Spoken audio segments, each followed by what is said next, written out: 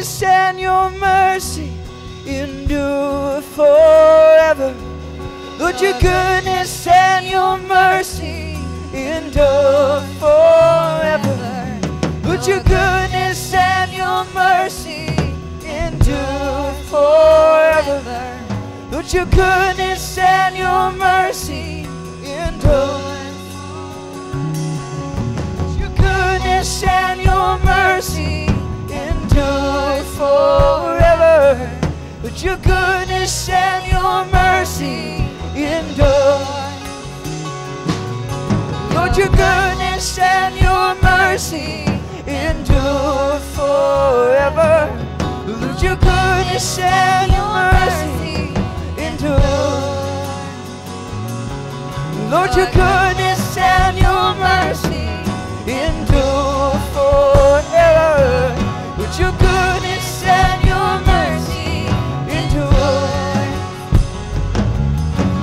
Oh,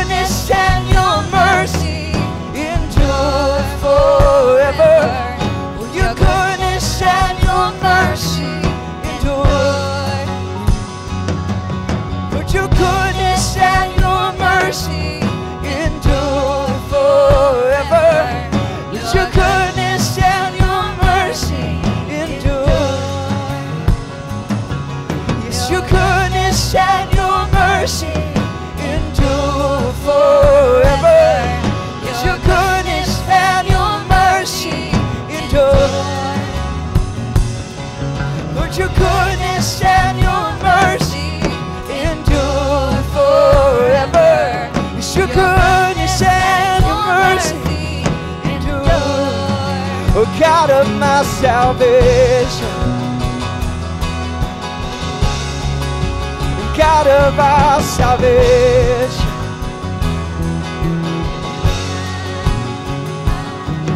It's your goodness and your mercy endure forever. It's your goodness and your mercy endure. Lord, your goodness and your mercy endure forever. Yes, your goodness and your mercy endure.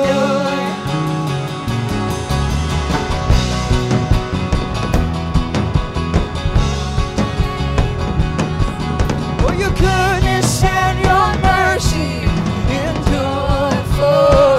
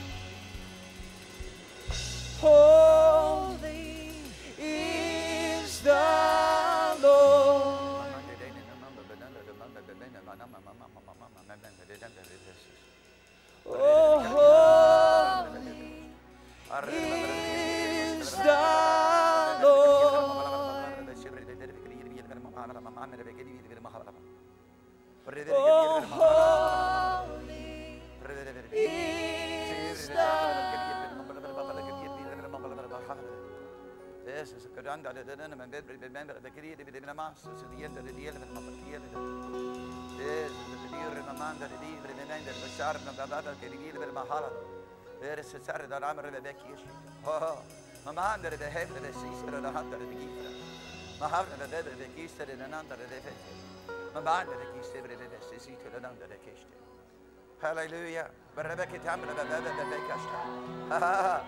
Hallelujah. Hallelujah. Woohoo. Mama, mama, ne, mama, ne. Breve mama, ne, serre mama, mande, remengero, no mom. Holy, holy, holy, holy is the Lord. Oh, holy, holy, holy is the Lord Most High. Oh, holy, holy, holy is the Lord. Oh, holy, holy, holy is the Lord. Hallelujah. The Lord Most High. Woohoo! Thank you, mighty God. Thank you, mighty God. Well, Brabasaya. Hallelujah. Woo. Alamangeya sheya pone ebeya shuroma ane ishikaya. Asapara nea kia la mohota ratea pahane. Aki ana monjesia tekia. Ha ha. Ana dea brahma nonge shepeya te. O mandeya se. Hala mande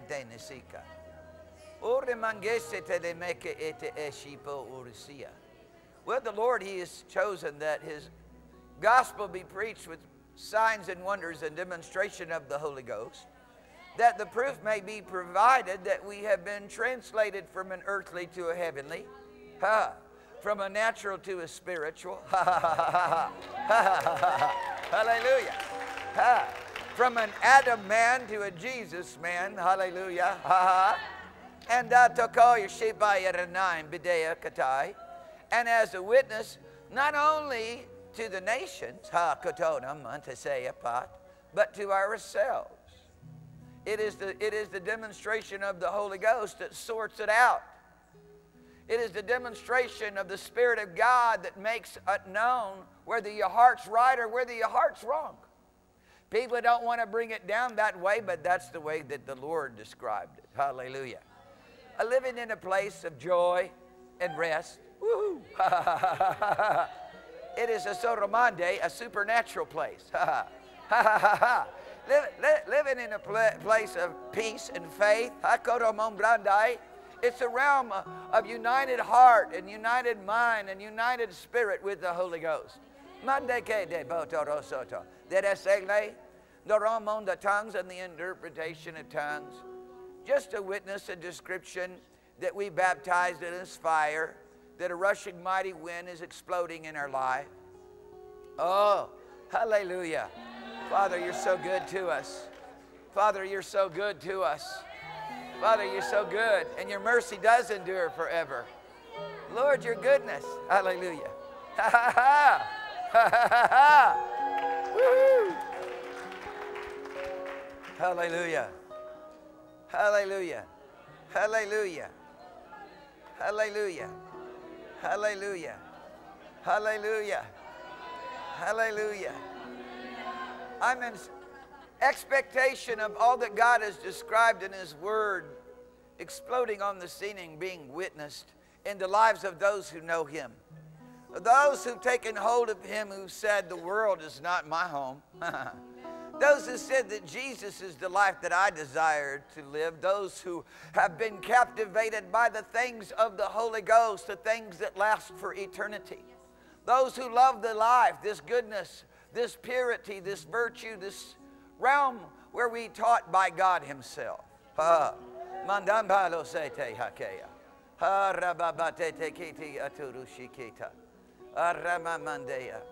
Father, we thank you for the Holy Spirit. You know, when you open up your arms and you lift them towards heaven, which is how God ordained to be worshiped. People do this little stuff, do this little stuff, this, but God ordained it. It's like the, it's like it's saying, you know, it's it's a, it's a gesture of welcome. Welcome, come. I love you. Welcome, welcome. Come to me. Come to me. Come on, come on, come on, come on to me. Come on now. That's what it's all about. Let the lifting of my hands be as the evening and, and the morning sacrifice. Hallelujah. Uh, I lift up my hands in, the, in thy name. Oh, bless the Lord. All you servants of the Lord who stand by night in the house of the Lord. Lift up your hands in the holy place. Come bless the Lord. Come bless the Lord, for he is the maker of heaven and the earth. He set forth the expanse of all creation and designed that you should be in it too. He set forth the expanse of all creation. Hallelujah. in His design, He planned that you and I should be in it too. Hallelujah. Hallelujah. Hallelujah. Hallelujah. Hallelujah. Hallelujah. Sing this song, Holy Ghost. I want to see Jesus like I've never seen him before. Just sing that quickly. Just a little, sing a little bit. Thank you, Jesus. Thank you, Jesus. Thank you, Lord Let your hands towards heaven. Just let God, let God touch you right now. Holy Spirit, reveal Jesus like I've never seen or known before. Holy Spirit, come and take me deeper into your realm. Holy Spirit, reveal Jesus like I've never seen or known before. Holy Spirit, come and take me deeper to your realm.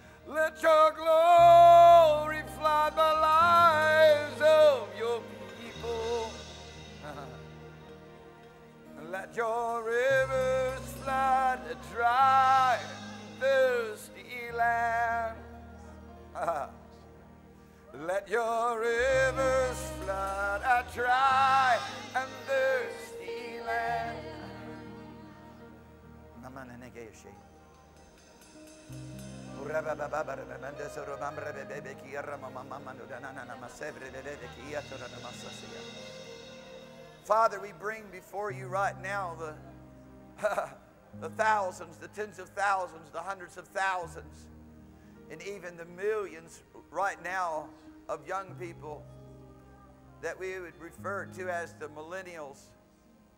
Father, those people that right now stand between the ages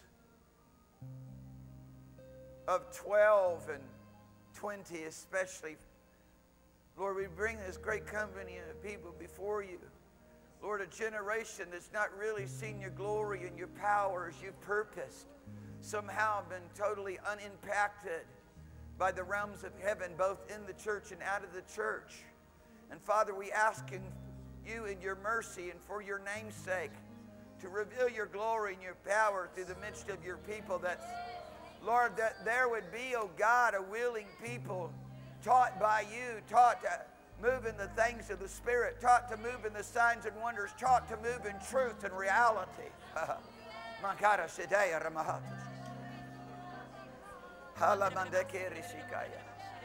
You know, you know, my heart, right? My heart is, my heart is burdened for the lost all over the world. You know, you know, especially when I think about three billion people that have never really even heard the gospel of the Lord Jesus in the world that never even had a chance.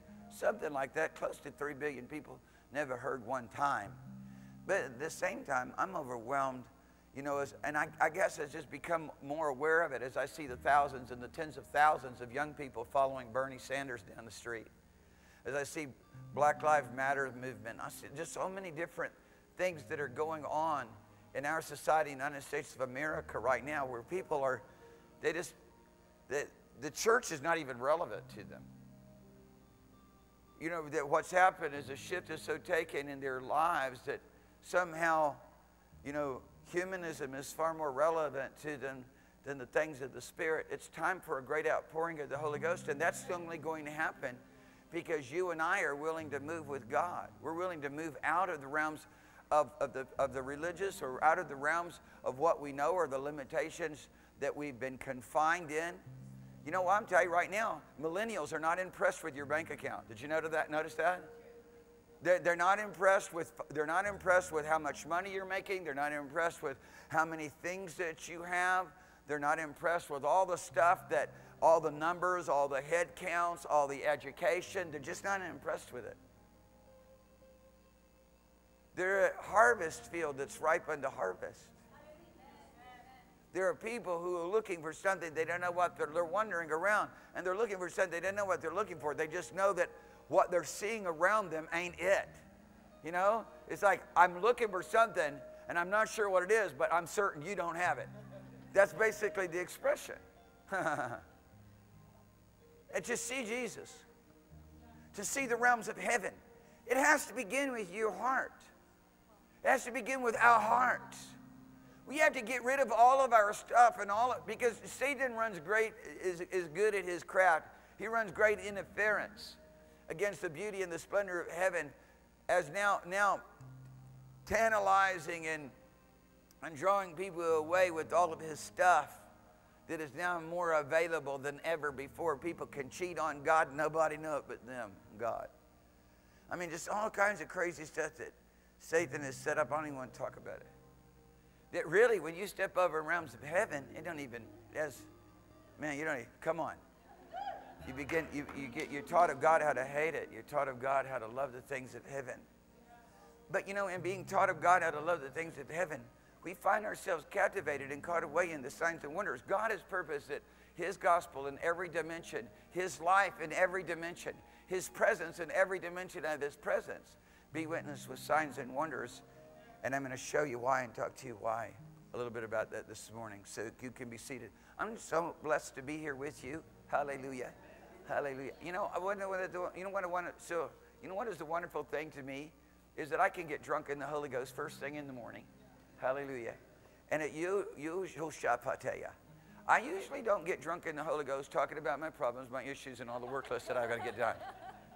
It usually has the opposite effect. I just get drunk in the Holy Ghost talking about how wonderful Christ Jesus is, how glorious it is to be the temple of the living God, that He's tabernacle in me, and that we're on our way to an amazing place that we can't even begin to imagine.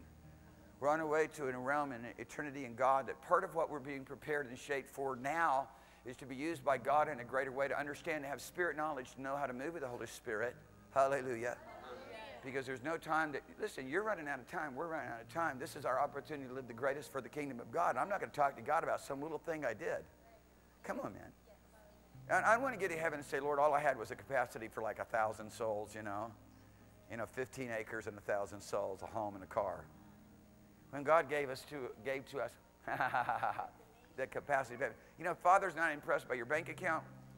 He's not impressed by your education. Hallelujah. He's not very impressed by the, all these things that men are impressed by. He's not impressed by your grades. Are you listening to me? Oh, what he's impressed by is the love that you're willing to respond to. The love, first of all, foremost, that begins to take place between he and between himself and us, between, and I like to say them, God the Father, God the Son, and God the Holy Ghost, Christ Jesus, the Holy Ghost, between them, hallelujah. Because we can, I'm not leaving Father out. Some people want me to leave Father out. I'm not leaving Father out. Some people want me to leave Jesus out. I'm not leaving Jesus out. Some people want me to leave the Holy Ghost out. I'm not leaving Holy Ghost out. Some people want me to make them all one. I'm not going to make them all one. I'm going to make them all three. Hallelujah. Hallelujah. Hallelujah. Praise God, because they've all three come to live and abide on the inside of me.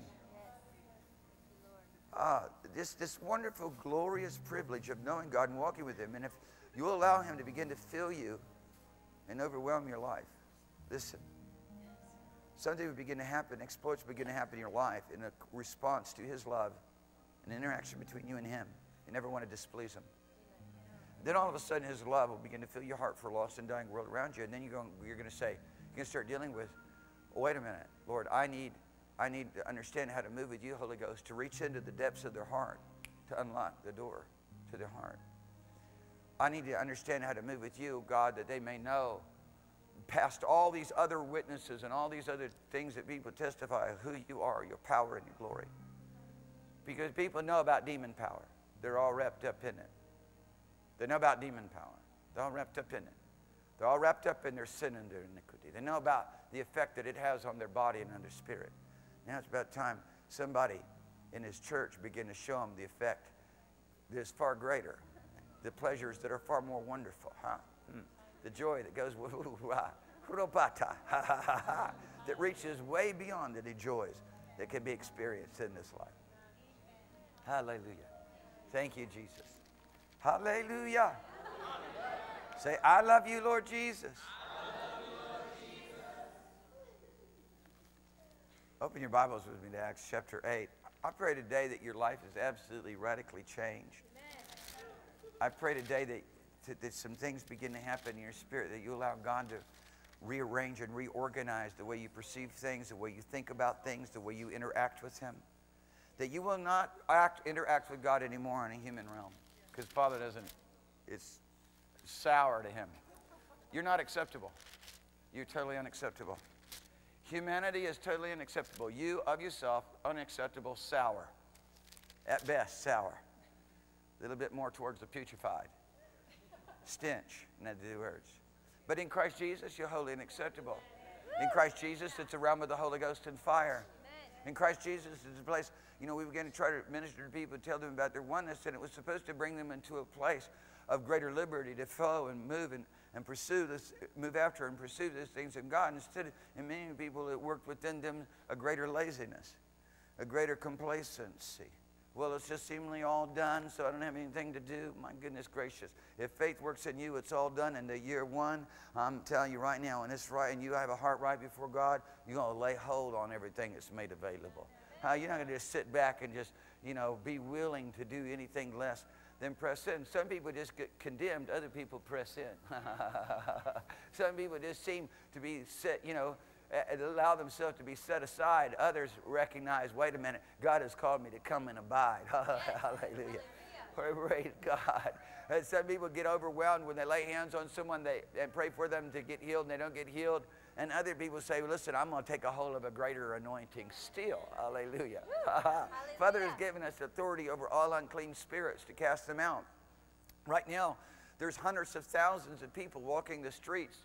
More than that, there's millions of people walking the streets between Tijuana and LA that are waiting for somebody to demonstrate the power of God, still come instead of coming with some little Pharisee, Sadducee, scribe like speech. How you listening to me? Tell them they ought to try Jesus like a used car that they don't want to have anymore, that they're trying to sell. Are you listening to me? Come on, man. God wants to fill you. Hallelujah. He wants to get you in a prayer room so he can take you and teach you what it's all about. See, prayer is one of the fundamental ways in which God teaches us how to move in the things of the Spirit. Hallelujah.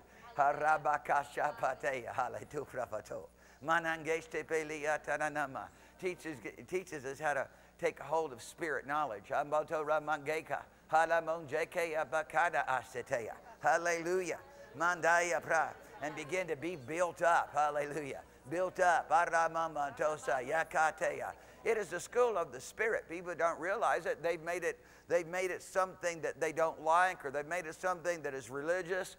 You know, Pentecostals have made it religious. Baptists have made it something that they like, don't like. And, you know, everybody's got these various different attitudes about the supernatural expression of the Holy Ghost that Father poured out on the day of Pentecost to teach you and I how to begin to move with Him and be developed by Him in the things of the Spirit. But oh, if you, with a sincere heart, begin to take it up, praise God. Hallelujah and build up yourself in your most holy faith. And then that way, you know, doubt and unbelief isn't going to be able to sway your opinion through the day. You're not going to stand against the foul powers of hell and them being, you know, defiant, not listening to you, and then you end up backing down. You're just going to, you know, you're going to command all the more. Amen.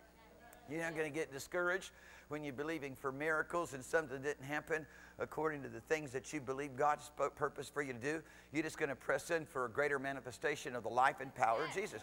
You're not going to do that offline, doing your own stuff. People want to go ahead and live their own life and do their own thing and, and, and be, you know, preoccupied with their jobs, preoccupied with their life in this world, and think that somehow they are going to have what God has for them. The prophet comes to Asa and says, You seek me, and I will be found of you. You, you, you, you, draw, you come near to me, draw near to me, I'll draw near to you. you. If you for me, I'll be for you. But if you forsake me, I'll forsake you. And all that was about him looking for somebody else to help him out instead of God. Just looking for some other army to help him out, some other means to help him out, some other, other provision other than the realms of the miracle supply.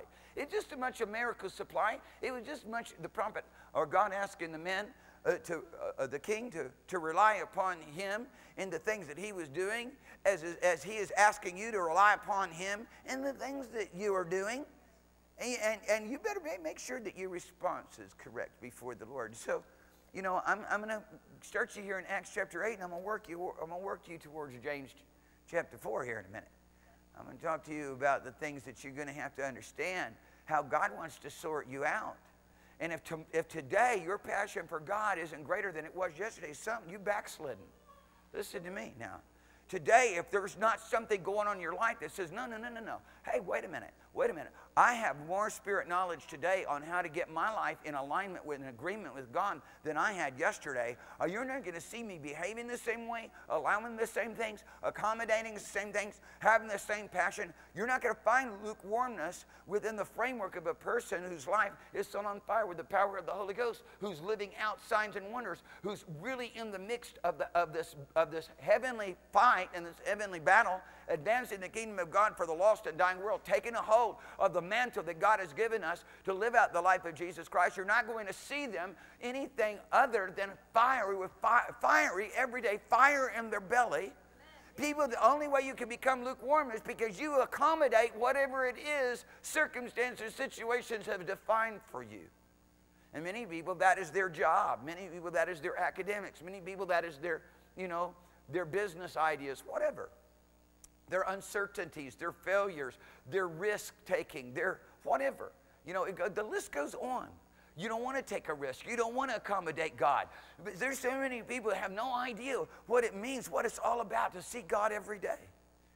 So, so many people have no idea what it means to give themselves over to walking in the Holy Ghost. They pretend like they've got it, but they don't have it at all. Walking in the Holy Ghost is living by the Spirit, is living in a realm where God the Spirit God the Holy Ghost can teach you and I how to flow in a supernatural realm. What for? To do all the things that Christ Jesus does. What happens? We become burdened for the lost. It becomes so big to us, we got to quit our jobs. One amen, two amens, one hallelujah, but you could barely hear it. Everybody else is. Please, come on, people. Say yes. Just say, okay, Lord, I'm going to do what. Just say, some of you just going to say, yeah, I'm, forgive me, Father. I repent right now. Because I know, I know good and well what I'm talking to here today. I'm talking to people who have a lot of potential energy, but the kinetics hasn't been expressed yet. You have a lot of potential. You're sitting on the top place. You're sitting on the hill. Huh? But the roll down hasn't been seen. You, the roll out is still yet uh, uh, undeveloped. Are you listening to me? Come on, the God wants to roll this thing out for you. Some may have a little splurt of the anointing and expect that you're supposed to be recognized with it. You know, you just sit there and grow and mature in God. Quit wanting attention. Maybe get up and grab the microphone and, and, and, start prophesying. You don't see him for the next year. You know what I'm saying? Huh? now we're not let you prophesy. You need to sit there for a while uh, until until the, the Christ Jesus is formed in you. Amen. Hallelujah. Hallelujah. Uh, I'm going to talk to you. I'm going to get off. I'm going to get after you this morning because I'm not going to talk to a bunch of people in kindergarten, and I'm going to talk to a bunch of people, you know, sitting in the nursery. I'm talking about. I'm going to talk to people today who's in the army of God, but your suit's not right, huh? The things in your organization aren't quite, you know, the way that they're su- supposed to be. Uh, you're not following orders the way that it's supposed to come down in your life. And so I pray today that as you hear the Word of God, that you respond to the Word of God with sincere and true hearts, and you let God, the Holy Ghost, sort you out. God, the Holy Ghost is here. Christ Jesus is here. Hallelujah. If every verse of Scripture, you read every verse of Scripture and say, Yes, Lord, I will do that by your help and grace. That's what I want to be, and that's what I want to do. Your life is going to change. And you don't just sit there and go, Lord, that's what I want to be, and that's what I want to do. And you continue on doing what you're doing you change. Huh? Because Father's got the, given you the power of change, but He don't make you change. Hallelujah. He's giving you the power of change. You read something, you say, okay, that's what I'm going to do. And you start doing You step out, whether it's walking on the water, you sink the first time, you'll walk the next time, don't worry. If you just, huh, come on now. Hallelujah. All the Lord's going to do is say, every time you fail, He's going to say, Why did you doubt? Hallelujah. And so you're supposed to learn. Oh, I'm not supposed to doubt. I got it. Go ahead and do it again, but this time don't doubt. Understand where the, where the sources of doubt are, where the sources of doubt come from. They come out of the realms of fear. They come out of the realms of intimidation. They come out of the realms of the demonic. They come out. Listen, people, God has the most wonderful and amazing life for you. All you got to do is be obedient. I see people's lives falling apart, and they say, oh, you know, they act like it's, you know, they're going through some trial that God's imposed upon them to bring forth greater faith to them. No, they're going through it because of their disobedience. They can't see their disobedience, but if you'll just get in a little bit closer to Him, all of a sudden, Father's going to show you how you did not simply obey His word and do what He was instructing you to do. You modified it just a little bit. Just a little bit. Can I just modify it just a little bit? No, because it's going to work a disaster in your life. I listen to people tell me about the disasters of their life. And you know, all the time they're telling me, I just think, well, it could have all, it could have all been prevented. it could have all simply been prevented. All you had to do would be faithful to God. All you had to do is simply obey God, walk with God no matter what. Just obey God. Just do what God tells you to do. Just be in His house continually. Hallelujah. Uh, seek the Lord while He may be found. Call upon Him while He is near. Because I'm going to tell you right now, people, it's, there's going to come a time where it's, that's forever over. There's going to come a time where that's forever over. You're going to breathe out your last breath, and you can call all you want. You can call for the rest of the eternity, and nothing's going. There's not going to be an answer. You can seek all you want, but you'll never find Him. You'll be separated for, from Him forever and forever. And I, you know, reality of it is, is I don't want people to, to just serve God or respond to God you know, when I'm preaching simply because they're scared to death. But the fear of the Lord is clean. Hallelujah. The fear of the Lord is clean and judgment is true. Hallelujah.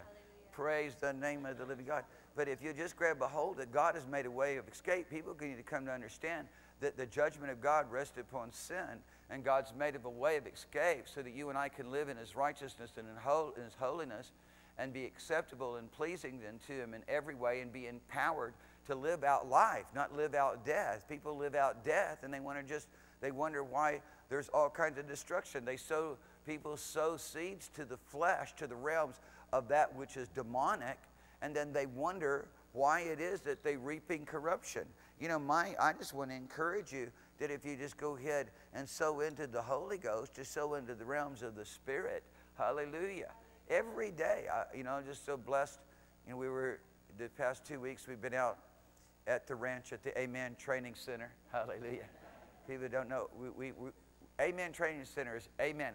Asia, Middle East nations. That's what Amen. A, Asia, Middle East nations. And it's just like the last, you know, stronghold and bastion where Satan's been able to keep people from hearing the gospel. You know, and I can't say that without saying, my goodness, there's a huge harvest right here. There's getting more and more every day people who haven't heard right here. There's free societies now where people haven't heard. You know, I'm thinking about, I'm, I'm just, I'm, I'm thinking about helping, hooking every one of you up with faith, helping you to buy a tent and sending you into every region, every town and village here in the United States of America with signs, wonders, and miracles. Amen. Because some of you maybe won't even know how to press in and take a hold of God. I watch people ride on other people's anointing, and then you just basically drop kick them out of the place, okay, because they're getting too big for their britches. You know what I'm saying? Drop kick them out of the place, you know, and set them in ministry. You with me? It's the right hand of fellowship, but you're forcing them to go. You with me? Are you with me? It's a, it's a fun thing. It's not a bad thing. Drop kick them out of the place and say, get busy. Now let's see how you go. Let's see what your anointing is going to do. Huh? And let you go with your tent and stand there preaching the gospel. Only two people going to come listen to you. And you can't quit. Because now it's going to run ruin with your ego and with your pride and with your issues. And now you know what you're going to have to do? To have to get down on your face and recognize no, this wasn't the will of God. This was because you don't have a hold on God as much as you think you have a hold on God. And now you're having to face your lack. Huh? You can't pack up and go home. You got to get down on your face till you touch heaven and heaven touches you. Hallelujah. Oh, one, two people clapping, and everybody else is scared out of their mind. You listening to me? You need to applaud right now. Come on. I mean, it's, it's, yeah, get, get change on the inside of you. I mean, you need to be, everybody, people need to be standing up going, Where's my tent? Where's my tent? I mean, come on, think, think about it. Dear people, we, we, we, we, you know, I'm trying to tell you, exhort you, others have as well this is the time that you get to live the greatest for the kingdom of God. In all of eternity, and you're just willing to sit there and go on. You don't know how to change. That's why you got to drop kick. Are you listening to me? People get stuck. They get stuck. It's about time you get unstuck. There's so many street corners out there. Give me a break. You can start with a tent and find out just how bad off you are spiritually. Huh? Yeah, well, I love Jesus. Well, he loves you too. But, uh, but what's going to make the difference of signs, wonders, and miracles in your life is you beginning to feel the weightiness of the responsibility to go in all the world and preach the gospel. Hallelujah. Come on, man. Come on.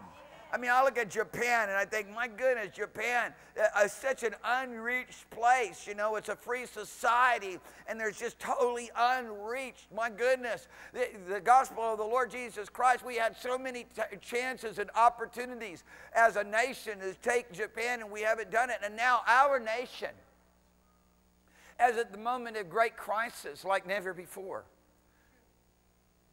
and it's, it, unless things change is going, unless something, unless some act of God's divine grace and mercy that, that's different from what we can see right now, because right now we see that the decision making opportunities have already passed, and we as a nation chose to go away from God and not to go towards Him, to forsake Him and not, and not to embrace Him. And, you know, I see judgment time, at times as an act of mercy where God, in His mercy, allows all of His blessings to be removed. But I'm telling you right now, what can what what changes would you allow God, the Holy Ghost, to begin to make in your life right now, so that you can have a greater impact upon the people that are around you, upon the nation that is that that you right now are privileged to be a part of. And it's, it's really it's got this. It has to start here. Yes. It has to start, thank you, it has to start right here in a place where you're seeking God. I, you know, as I was saying, we was out at the Amen Training Center, we have prayer at 1 o'clock. And, you know, there, there was a couple of days I was a little bit late for it, huh? Because I was doing my devotional, and I could hear Daniel in there, I could hear others in there. But there's a fire, just a fire burning. One o'clock, everybody gets together for prayer. There's a fire burning. There's a fire burning because there's, a, there's something going on within everybody's life by mandate that says you will seek God in the morning, you will seek God at noon, you will seek God in the evening. And if you'll do it, you're going to discover that there is an explosive glory of God awaiting for you. But if you just put Him on hold because you're so busy with whatever it is you're doing, people, you're not right with God in doing that. You think that you're, you think that God is impressed by religion, by religianity? You think that God is impressed because you show up to church on Sunday morning? Give me a break. God's not impressed because you show up to church with Him on Sunday morning. I'm, gonna get, I'm getting after you right now. Ready? You're looking at Acts chapter 8. You know, Simon could have said, Well, I believed. I believed when I was baptized. But then the signs and wonders of moving of the Holy Ghost would have come and prove him that he's, he's, his heart's not right with God. He's in the prison of the demonic realm. Oh, yeah. Why would you wait till you stand before the judgment seat of Christ? Find out you in prison in the demonic realm. Huh? Come on, people. Let God sort you out. You know, people tell me that Mark chapter 16, 16, 17, not supposed to be in the Bible. 16 through 18, just it was added. No, it wasn't. And if you want to say it was added, I'll show you how it works right here in Acts chapter 8. And I go on and show you that, that same display of the power of God. I love this because this is what the Lord wants to do right here in San Diego. This is, what, this is what the Lord wants to do in every town and village. There's 112, listen, there's 112 zip codes in San Diego County. There's 112 zip codes. That means there's 112 significant township regions in San Diego County. Listen to me. Get yourself busy. Get out of your stuff. Get busy. Get up and start going. Come on. Huh? You start crying out to God, you'll get over your fear and intimidation. The demonic realm won't have such a hold on you, kicking you around. Listen to me. Listen to me. Come on. Come, give me a little bit more of a shout and yes and a. a I mean, come on, just say just. I, maybe maybe you're not responding because you just aim not to do it anyways.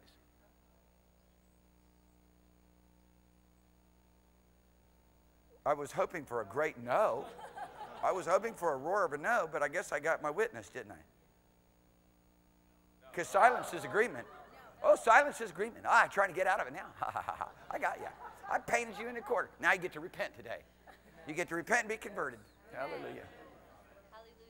And so that's how many times we need to repent, get, get converted until you get it right. Amen. That's how many times you repent, get converted until you get it right. Instead of sitting on the high ground of your own, you know, self-righteousness. God make you righteous, but you're going to have to do what he said to do. Hallelujah. I don't want nobody talk to me like this. I was hoping for somebody to encourage me. I'm encouraging you. I'm encouraging you to do what God told you to do so you get blessed. Amen. Hallelujah. Hallelujah. Then Philip went down to the city of Samaria and preached Christ unto them. I love this. Hallelujah. And people with one, one accord gave heed unto the things which Philip said. Why? Hearing and seeing the miracles which he did. Come on now. Come on now. Be, come on now. It's mom, it might be better to say, I want that, Lord. It might be better to say, I want that, Lord. Come on, it might be better to say, I want that, Lord. Because if you just say amen, that means you're doing it. If you say amen, that just means you're doing it.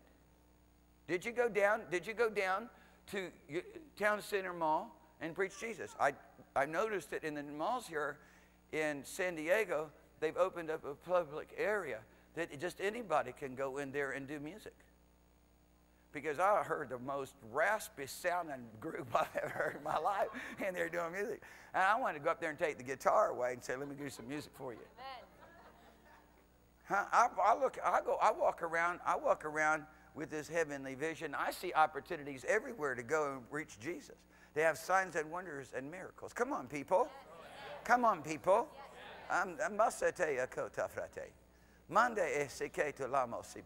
Come on now. Come on now. Get out of your no miracles going to happen in your comfort zone. They don't happen there. Miracles happen when you risk your life. You have to get in trouble to have miracles and signs and wonders. And God has made us people of signs and wonders. You have to be at risk. You've got, you got to, you got to face your fears and the stuff that scares you and the stuff that threatens you. And you got to go boldly and go and proclaim those things which the Spirit of the Lord has said for us to do. You don't, you're running out of time. You're running out of time. We're running out of time. We're running out of time. Come on, we're running out of time. I want you to grab a hold of this. I don't want you to be intimidated. I want you to be empowered. I want you to grab a hold of this now in the name of Jesus. Because as long as you live your own life and do your own life, you have no victory, no power, no authority over the works of darkness. They run right over top of you and your house and take everything out that God had intended to bless you with, even a life uh, uh, that is eternal in the heavens. How much are you going to be willing to put at risk that, is, that heaven has afforded you? Think about that. While you're sitting there thinking about how much you're going to be willing to put at risk that the earth realm has, that has afforded you. How that men have, uh, uh, men's opportunities have afforded you. Because it's one or the other. You're either going to put at risk what you have and what you could do and the opportunities that afford you uh, live that are afforded to you because you live in the United States, are you going to put at risk the opportunities that God has afforded you and all the things that right now we have the privilege and the ability to function in and operate in? You're going to have to change. Do you know that? Yeah, you're going to have to change. You're going to have to start doing it God's way. Hallelujah. Hallelujah. Hallelujah. Halabake se tapato roho. Mande exesi po. Come on, se. You're going to have to change today. Some of you are watching me. You're going to have to change radically. Your heart's not been changed. You're going to have to change. God wants to change your heart. You can't change your own heart. Call upon the name of the Lord Jesus Christ and do what we tell you to do before this meeting's over. And I'm telling you, if it's a sincere and true heart, everything will be completely different as of this afternoon. Amen. Amen. Hallelujah. Hallelujah. And the people with one accord gave heed to those things which Philip spake, hearing and seeing the miracles which he did. Say hearing, hearing. And, seeing and seeing the miracles, the miracles which, he did, which he did, caused the people, caused the people to listen to him. Where are you going to learn how to do signs and wonders and miracles? Where are you going to learn how to do that? You're going to learn how to do those things because you're going to give yourself to a training ground called prayer. A training ground, a, wonderful training ground, which Father gives to us as we are allowed by the Spirit of the Lord. Hallelujah.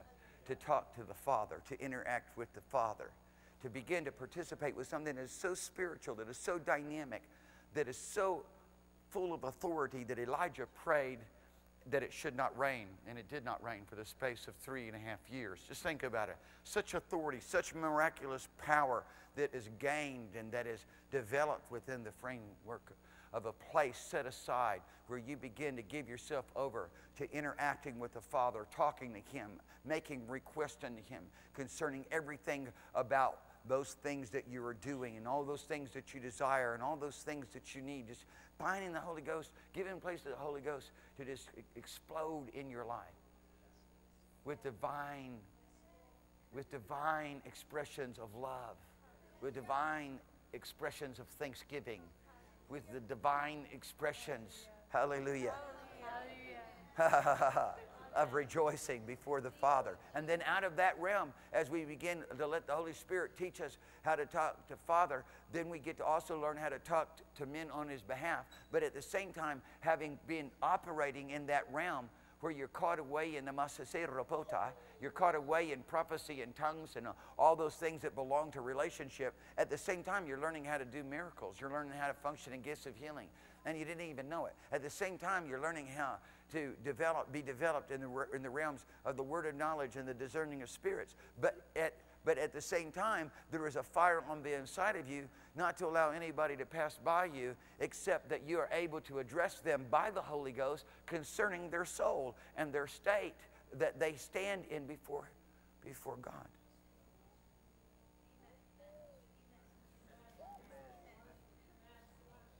Something's happening, and it's good. Because somebody begin to move in the Holy Ghost, unclean spirits will cry out with a loud voice and come out of those who are possessed by them. Hmm? See, that's Mark 16, 17. These signs shall follow them that believe in my name. They'll cast out unclean spirits. Huh? Here's just, I can just see it. I can see this moving of the Holy Ghost. I can see somebody who just left Pentecost. I see somebody who got drop kicked out of the meeting. I see somebody. I see a Philip who was hanging around the moving of the Spirit who is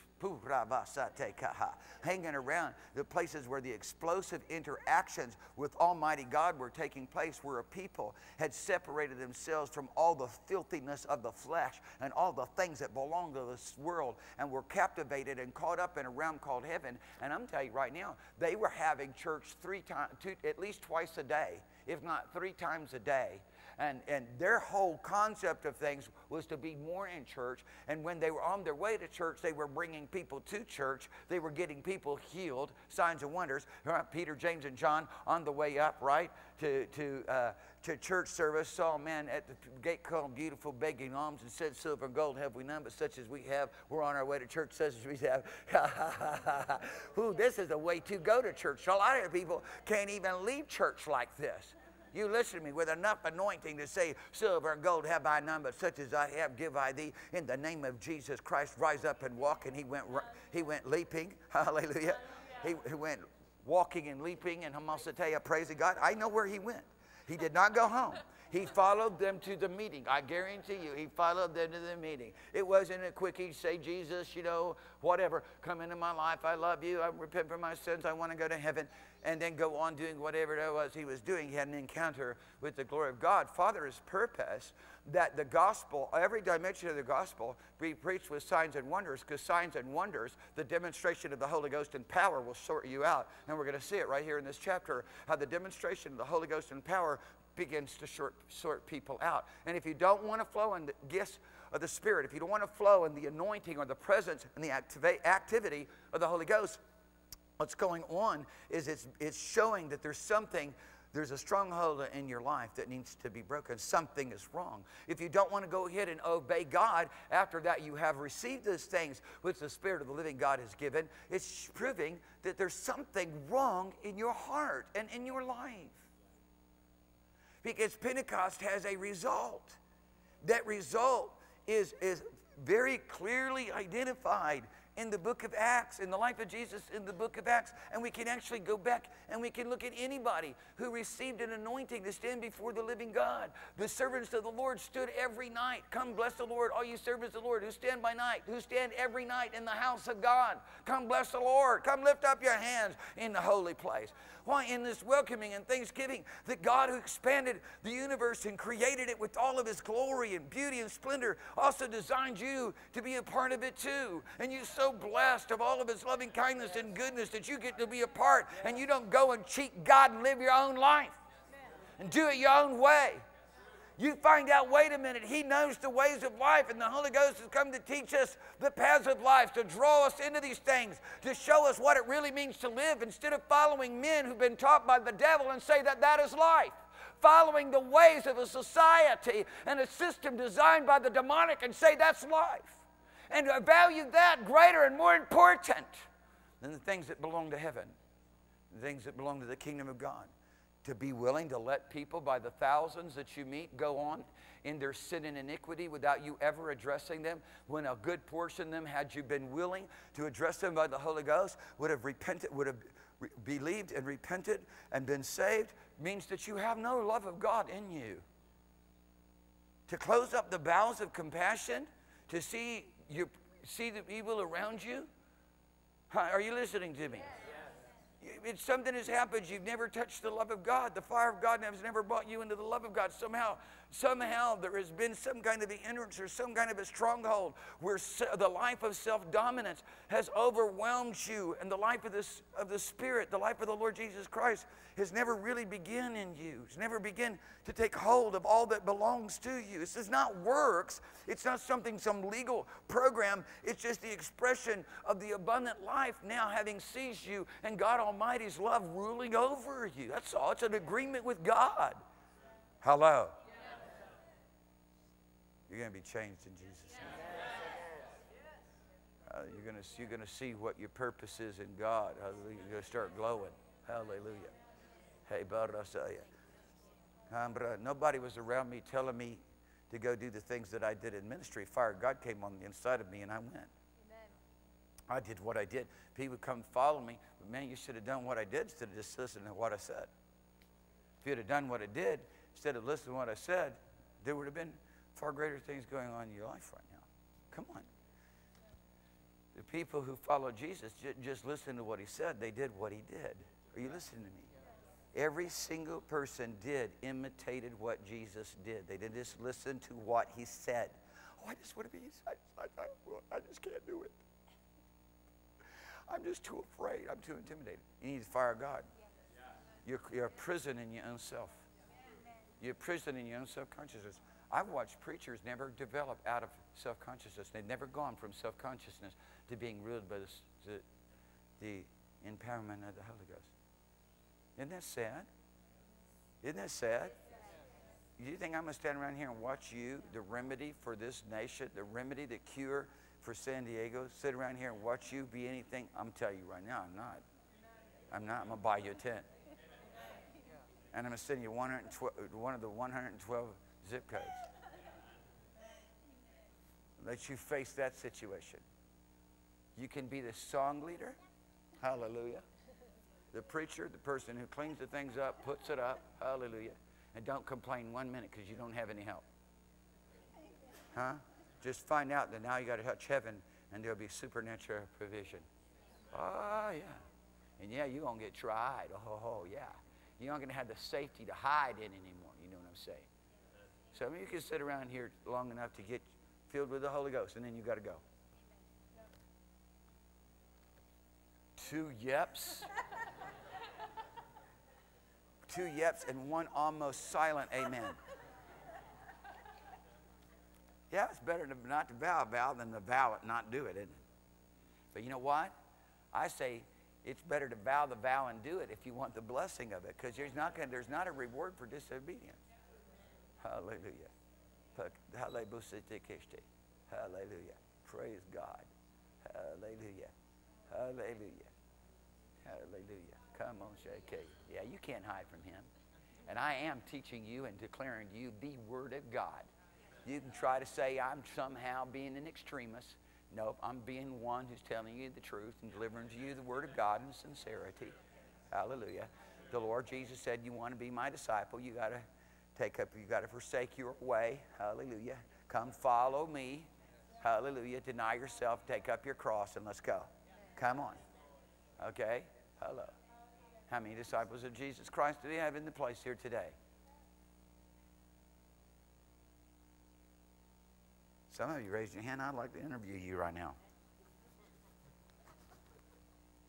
Some of you raised your hand. I'd like to interview you right now. I'd like to just exactly understand where it is you taking up your cross. And I'd furthermore like to understand when I don't even need to get that far. Where are you even denying yourself and putting the kingdom of God first? Well, I do it once a week, one hour a day. Oh, okay. That's not what the Lord meant. He meant 24 hours a day, seven days a week. He meant God's always first. Huh? He meant that every time the doors of the place are open, the church is open, you're, you're seeking the Lord. Huh? We're not doing church every night of the week right now. I mean, that may come as a, a news flash to some of you. We're not doing church. Every, we're going to do Friday. We're, this week, we're going to do Wednesday night. We're going to do Sunday night. We're going to do Wednesday night. We're going to do Friday night. There's a Tuesday night women's meeting, I believe. There's a Thursday, not tonight, there's a Thursday night youth ministry. A lot of times there's something going on every night of the week. And you should want to be a part of that. And if you're not a part of it, you need to be praying for it. You need to be crying out to God for these things. If you get consumed by the world, it is still your passion for heaven. If you get consumed by earthly things, you will have no fire for the heavenly. You won't. You won't.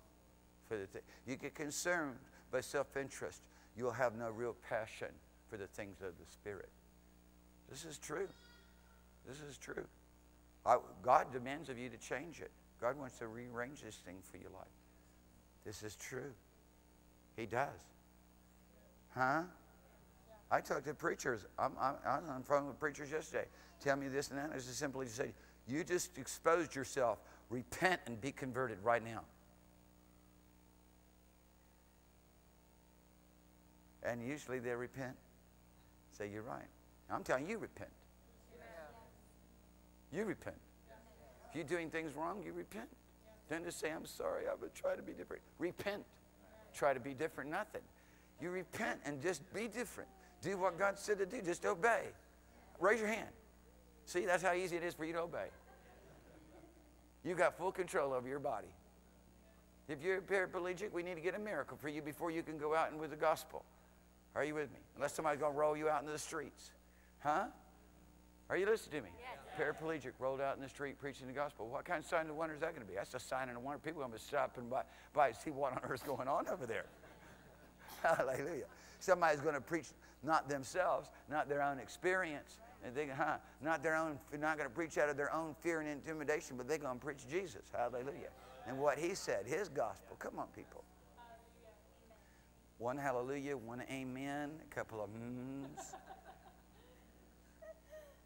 I'm believing God for more amens and more hallelujahs. Amen. amen. Praise God. I'm, believing, I'm believing for more people who can take a hold of the fact that you prophesy and you speak it out and God works it out.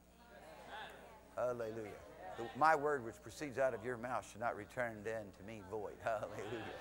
Hallelujah. For with the mouth confession is made unto salvation. Ha, ha, ha, ha, hallelujah. Ha. God ain't blessed a silent person ever. Huh? There was silence in heaven for only a few seconds. That's it. Rest of it's been a total roar. Huh? And that's by what's going down in the tribulation yet to come. But that's the only time there was silence in heaven. That's the only time there's ever going to be silence in heaven. Hallelujah. Hallelujah. You can either cry out, God, we're going to be different, we, or you can cry out, God, we're going to get this thing done, or you can cry out, oh, God, forgive me, I'm never going to be that way again, or you can cry out, amen, because you're doing it already.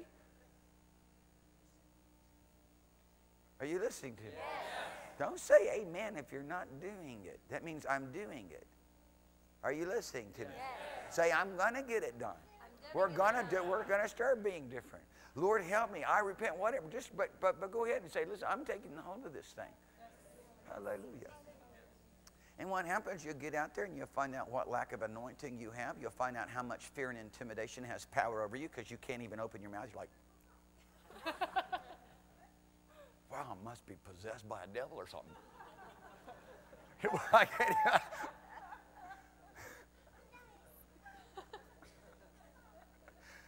That'd drive you to fasting and praying right there. You went to cast out an unclean spirit, and your mouth wouldn't even open. Are you listening to me? Uh, then how much people, people don't even know how much under the influence of the of the spirit of this world that they are until they start beginning to encounter the supernatural, the signs of one demonstration of the Holy Ghost, and then how much they then what goes on when they begin to reach out to participate with obedience to God. You're having to face the stuff that you've allowed and you didn't even recognize was there. You listening to me? This isn't the way the Lord designed it. This is the way that disobedience confines it.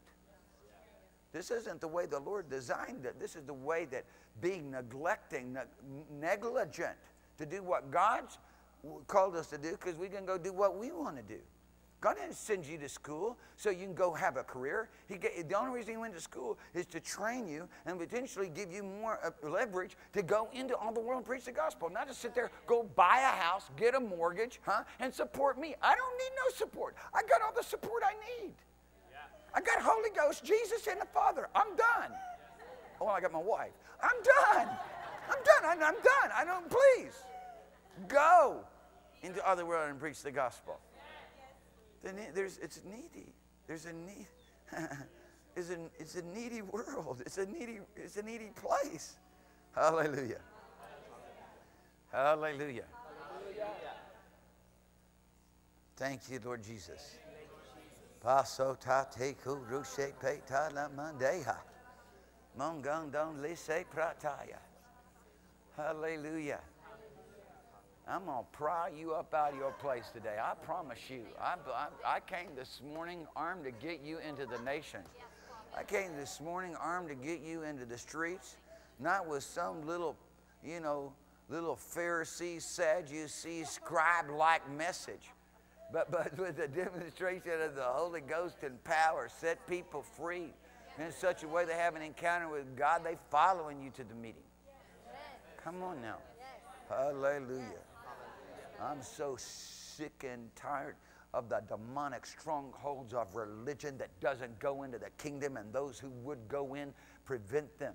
It prevents them. The millennials would go in. There's thousands and tens of thousands, hundreds of thousands of people would, would go in if religion wasn't blocking the door. Come on now. And I'm talking about what, what is religion? It's confessing or saying or declaring that you, the witness of the Lord Jesus Christ, you don't have any power to demonstrate. You don't even have power to live uh, victorious over the lust of the flesh, the lust of the eye, and the pride of life. Come on, people. Come on, people. Come on now. And part of that's just because you haven't entered in, many people haven't entered in full time into the ministry. Everybody's called to full time ministry. Did you know that? Yeah, Okay, I'm going to put it another way. Everyone of you called to full time living the life of Jesus. Did you know that? Okay, now we got that. Okay. Every one of you called full time walking in the Spirit. Did you know that? Being led by the Spirit. Hallelujah. Because that starts up in personal relationship. It's, Lord, I want to be led by you all the time. Have you ever said that? Ask yourself, have I ever said to my, to my God, Lord, I want to be led by you all the time? And then and, and you won't have to think too hard because when you say that, it becomes a part of your vocabulary every day. Lord, I want to be led by you all the time. I want to be, I'm most said, hey, I want to be sensitive to you. I want to do it your way. I don't want to do it my way. I want, Father, I thank you for your mercy and your grace upon me that is continually dealing with me, teaching me how not to live my own life anymore when I get to live the abundant life if I should choose. That's better. Man, I heard more, uh, more verbal participation of that. Blessed is the name of the Lord. Hallelujah. This is what we want. This is what we want. Here's what we want. Unclean spirits crying out with loud voice came out of many that were possessed with them, and many taken with palsy, paralyzed, were lame, and were lame, were healed. This is what we want. This is what we want. This is what we want. And it ain't going to happen until you go start doing it. It ain't going to happen until you start doing it. What is today? Today's April. Pretty soon, the, all these different events are going to be coming up. up. I mean, you can do signs and wonders and miracles in Balboa Park. There's people from all over the world. There'll be 156 nations there, you know, probably right around in there. You know, 150 nations, 160, 150, 160, I think is something, something they say comes through Balboa Park. It will be carpeted with people out on the beach. Uh, there will be, you know, the, the fair will be taking place. I mean, my goodness, signs and wonders and miracles. Come on. Hallelujah. There's just no end. There's no end to opportunity all around you. The towns and the villages. This is Jesus' ministry. Went into all the towns and the villages, preaching the gospel the kingdom, healing all that were sick and diseased that were in them, that were there.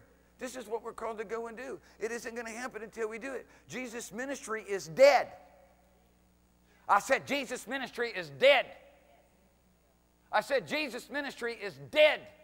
Think about it. I want you to think about that a minute. Jesus' ministry is dead until you start moving with it. I said, Jesus' ministry is dead until the church begins to live it out. Without the church living out what Jesus commanded, his ministry is dead. He handed it over to us.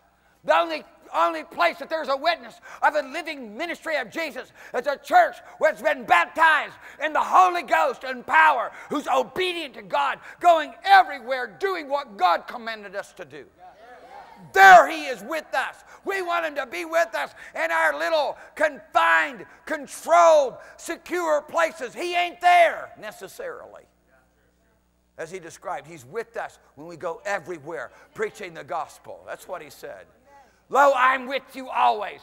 In what context? Get yourself moving. with signs, wonders, and miracles and demonstration of the power of God. Hear me now. God's talking to you. I hear Him talking to you. I hear some of your responses. I hear some of the things that are holding you back.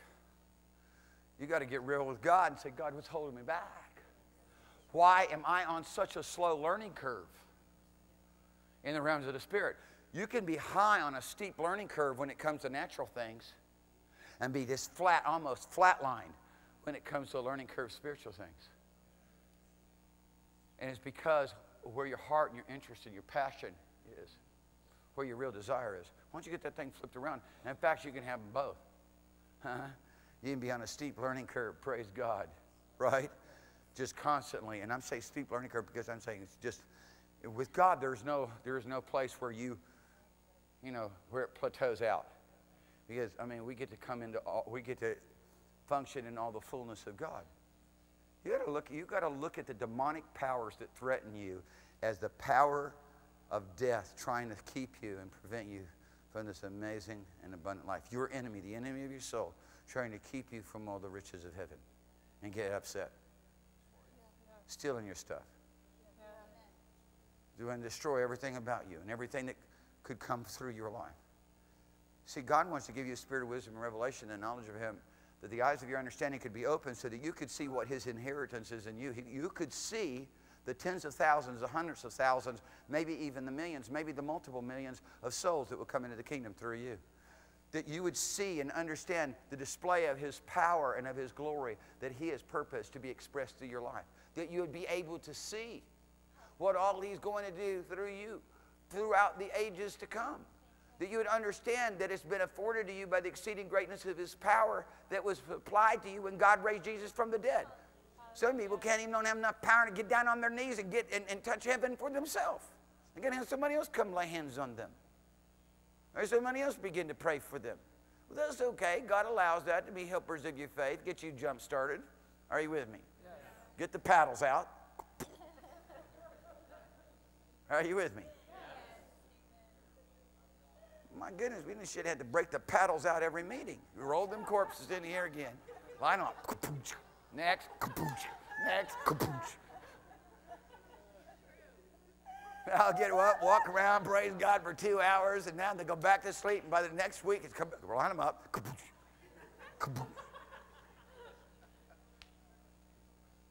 It's just the way the enemy wants it. Oh, the, the enemy of our soul just wants a demonstration, of the power of the Holy Ghost to be here in our midst, within the four walls. Confine you just to shout and a hallelujah and a praise God. No, wasn't His presence so dear and sweet, precious? Come on, people. Come on, people. Thank you, Lord Jesus, for change. Thank you, Lord Jesus, for change. Thank you, Lord Jesus, for change. I found it's easy to move in the, in the anointing of the Holy Ghost. Just do it. Huh? The greatest miracle is the miracle of salvation. It comes as easy as asking. Huh? Just think about how, how simple the rest of the miracles are. I said the greatest miracle is salvation, and it comes so easy, it's just by asking. So just imagine how simple all the rest of the miracles are. Let me say that again. Hallelujah. Baptists tell me, yeah, the greatest miracle is salvation. Amen. Praise God. And isn't that just so easy? Yeah, just easy as asking. Yeah, so raising the dead's a whole lot easier, isn't it? Blind eyes, deaf ears, crippled. Praise God, we can do this stuff.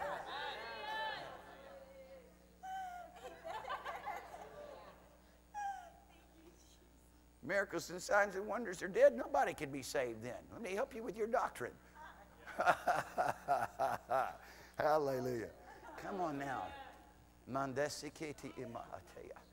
Malava esiti tikana mosupa. Membrendesifike intabalanemete. When the holy fire of the Holy Ghost is allowed to burn on, your, on the inside of your soul, it begins to it begins to change the expression and the demeanor of your face. It does. A hunger and a passion for the things of God begins to change the look upon your face. You cannot fool anyone except for yourself. Believe me. The only person you can fool is yourself. You're not fooling God. You're not fooling people of the Spirit. Believe me. And the most important person is that you don't want to be in any way think that you're fooling or deceiving is Father, your God. You want to be naked and transparent before Him. Come on, people. Come on, people. Come on now.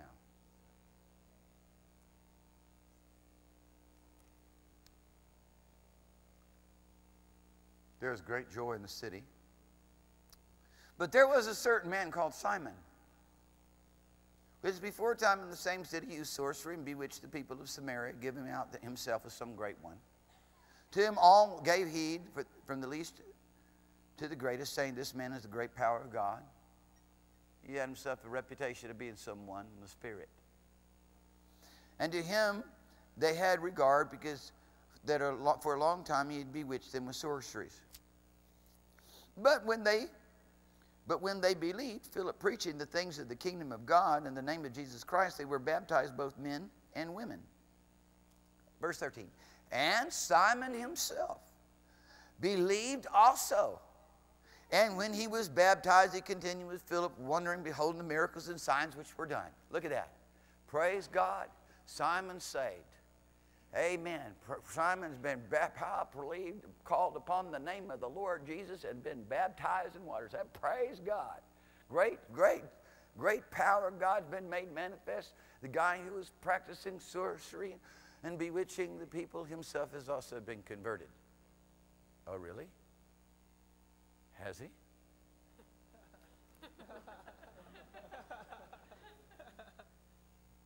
hmm? Watching and beholding the signs and wonders didn't necessarily sort him out. But as soon as the signs and wonders about to happen in him, it's going to sort him out. As soon he can watch it, he can get close to it. Huh? He looks like everything is right, everything is done. There's a lot of people who call upon the name of Jesus Christ and been baptized in wonder, Uh, uh, baptized in water, but we, we still got to wonder, are they right with God? Are you right with God? Have you been have you allowed the Holy Ghost to bring you into all that God has, has for you? Is there something that causes you fear and intimidation, that causes you to draw back?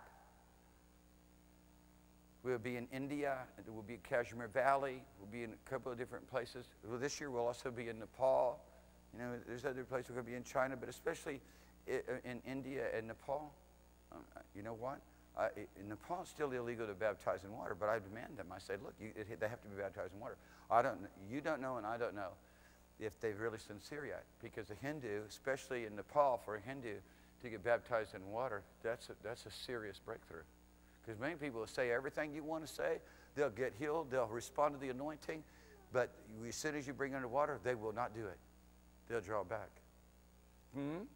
I see today in the United States of America many people who draw back from the baptism of the Holy Ghost, just like Simon. Huh?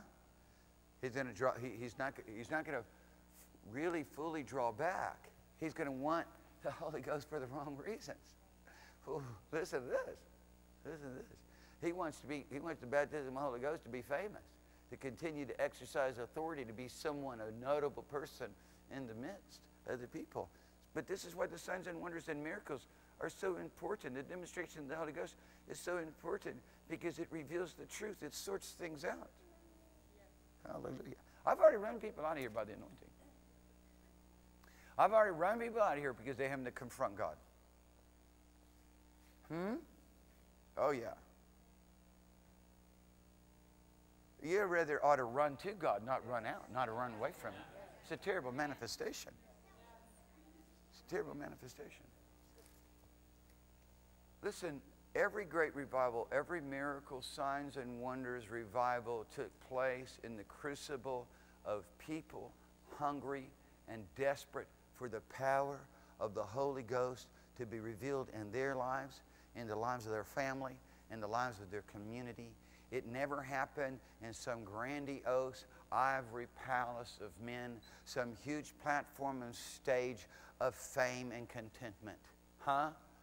It happened in the crucible of, oh God, we in desperate need. I pray in Jesus' name that you begin to face, every one of us begin to face how absolutely unable we are and inapt that we are to do anything that God has purposed for us to do without the power of the Holy Ghost being made manifest in our lives through signs and wonders and demonstration of the Holy Ghost, that you will confront the things in your life that have become purely human, where you've relied upon your own self, or where you've been willing to accommodate anything less than the fullness of the power of God being revealed in your life and in the, in the church that you belong to. It ain't just about having good music. It ain't about having good preaching. It's about having good demonstration of the power of the, of the Holy Ghost. That's what it's about. It's about, it ain't about, wow, the preacher is anointed. It's about whether or not you anointed. He's built this up as a tabernacle, living stones built around the cornerstone to offer up wonderful and glorious sacrifices to God the Father by Christ Jesus through the Holy Ghost. Well, if you, you know what? How many of you hungry to breathe air? No, you're not. You're not hungry to breathe air. That's a trick question. It's just you breathe it. You know, it's there. It's available. It's yours. You got it. Are you with me? Are you hungry for something you don't have? Huh? Are you listening to me? You hungry for something you have? No. Hello. Think about this a little bit more. You haven't even thought about taking a breath. You don't have to think, okay, breathe. Okay, let it go. Okay, breathe again. Oh, we'll get some more. Hope there's going to be another one left. Hope there's going to be one there for me the next round. The next round. Ain't nobody doing that. Hello. I'm afraid that people are about as hungry for God as they are for breath. They just take the whole thing for granted. I mean, listen to me. Are you listening? Got bugs flying all around me? It's not a manifestation.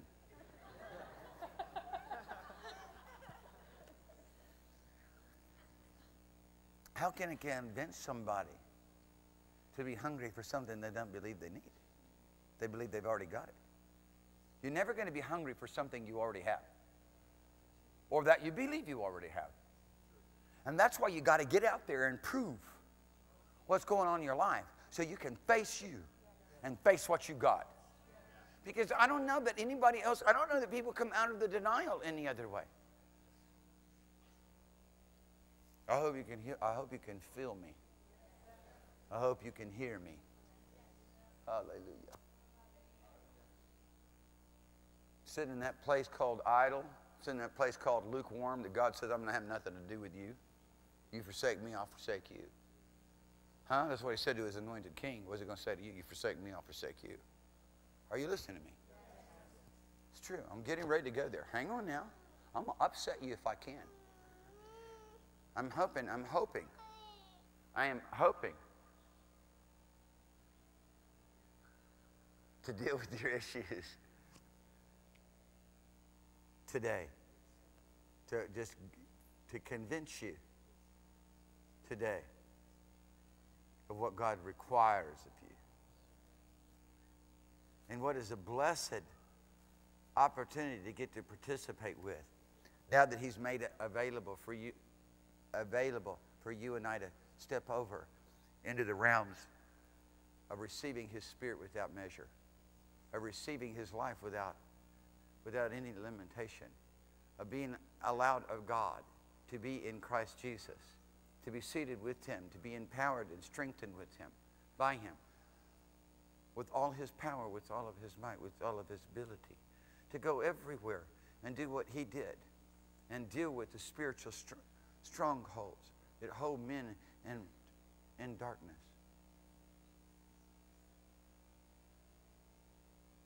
We need, to, we need to find out every place that can be, a tent can be set up in this county. It needs to happen now. Somebody needs to start getting busy. Everybody needs to start getting busy. There was a job getting done, well, not getting done out at, out at the ranch, and so I just told everybody I could find about the job. Because I'm certain that if I assign everybody the job, they'll all meet out there and have a prayer meeting, if nothing else. It's going to get done. I'm going to assign every one of you. You should, listen, how many, how many places can we put up a tent? I, I've already earmarked them. Everywhere they put up a tent to sell pumpkins at Halloween. Everywhere they put up a tent to sell Christmas trees at Christmas time. Or whatever else. I'm getting that thing too. Oh, praise God. Pastor's going to go and do it. No, I'm going to get that thing. You're going to go do it.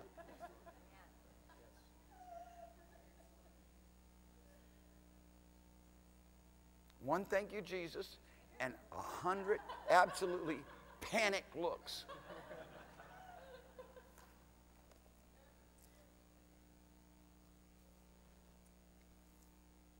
Well, how else do I help you understand that you're not doing what God told you to do? How else do I help you understand? Well, I did like two months ago. Man, we went out two months ago. You went out what? You should have been there. It happened once. No, this is every day the life of Jesus. every day. Did you notice that word daily in there? Did it say weekly, right? Huh? Didn't it say weekly? W E A K?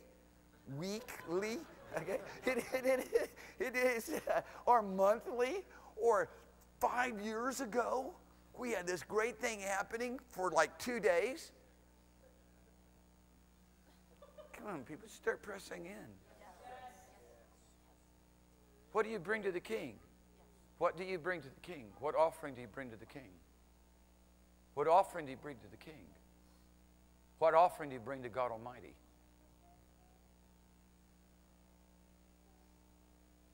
When you, what, how do you understand present your body as a living sacrifice, holy and acceptable unto God, which is your reasonable service? How do you understand being baptized in the Holy Ghost that you may be witnesses unto Him? Witnesses of His resurrection. How do you understand if anybody comes and drinks, out of your belly shall flow rivers of living water? This spake he of the Holy Ghost, which was not yet given. But when, huh? For he had not yet been glorified. How do you understand that? Ah,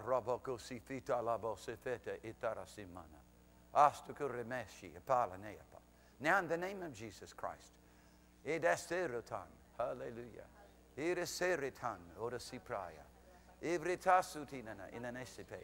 Now, O army of God, O people of God, rise up and put on your glory now. Rise up, rise up, rise up. Put on, put on the armor of the living God, the glory and the splendor and the majesty of the Father. Go ahead and be clothed with the, with the garments of, of the fire of God, of the glory of the Holy Ghost without limitation, with divine power and ability that whatever you ask, He will do it. With the love of God flowing out of you that you're not willing to see anyone go into an eternity without God, that you so love all mankind that you're not willing to hold on to your life but lay it down that others may be saved. God's inviting you. You can hold on to your life and say, No, I don't believe I have to do that. Or you can fall down on your knees and repent, just like when you called upon the name of the Lord Jesus Christ, because you recognize, man, my own soul is in jeopardy, and I don't want to spend an eternity in a place called hell. Well, the same God, God and the same glory and the same love and the same anointing will cause you to say, I don't want to see anybody else spend an eternity in hell. Oh, yeah. Thank you, Jesus. Thank you, Lord Jesus. Thank you, Father. Thank you, Father. Let's, let's begin to walk around and recognize that every, every encounter you have is a divine appointment.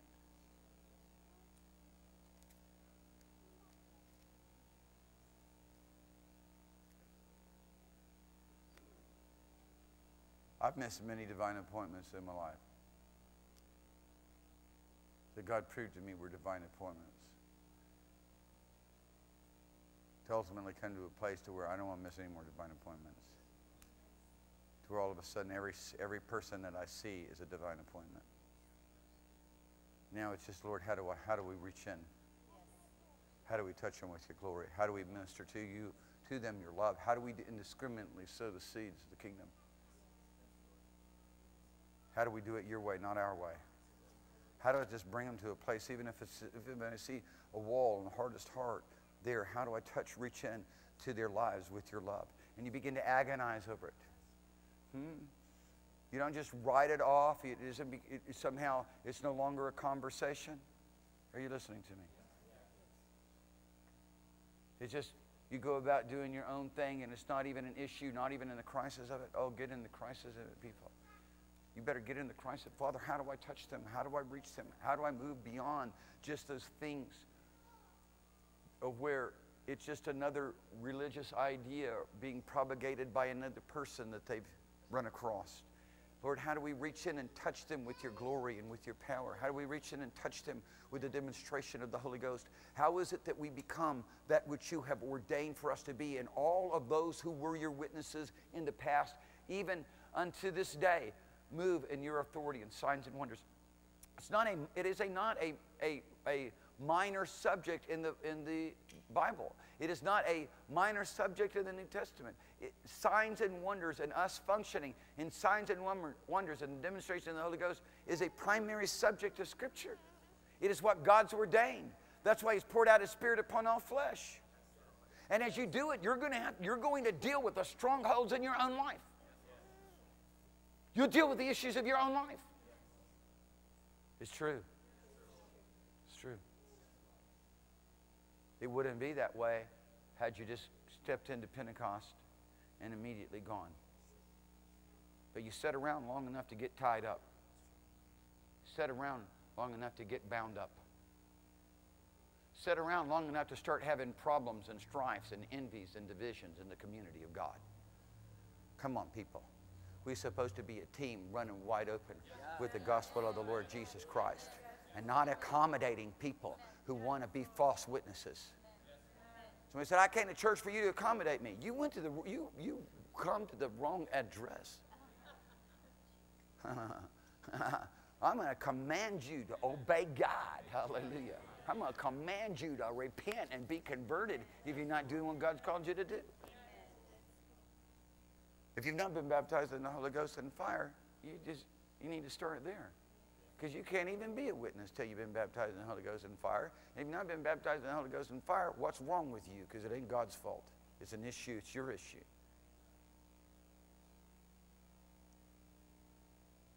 Because Jesus is the baptizer and it doesn't withhold from anyone. It's just as much a part of salvation as any part of salvation. Hallelujah. Hallelujah. Praise God. Hallelujah. You're supposed to call upon the name of the Lord Jesus Christ. Mark 16, 16. Those that believe and are baptized shall be saved. Huh? Cornelius' house, they got baptized in the Holy Ghost before they got baptized in water. Huh? The disciples, though, however, at Ephesus got baptized in water before they got baptized in the Holy Ghost. Praise God. And anytime the gospel was preached, baptism in water was being preached with it. So if you've not called upon the name of the Lord Jesus Christ and been baptized in water, you need to get that done. And then you need to be baptized in the Holy Ghost as well. If you've been baptized in the Holy Ghost but haven't been baptized in water, then you need to go get baptized in the water.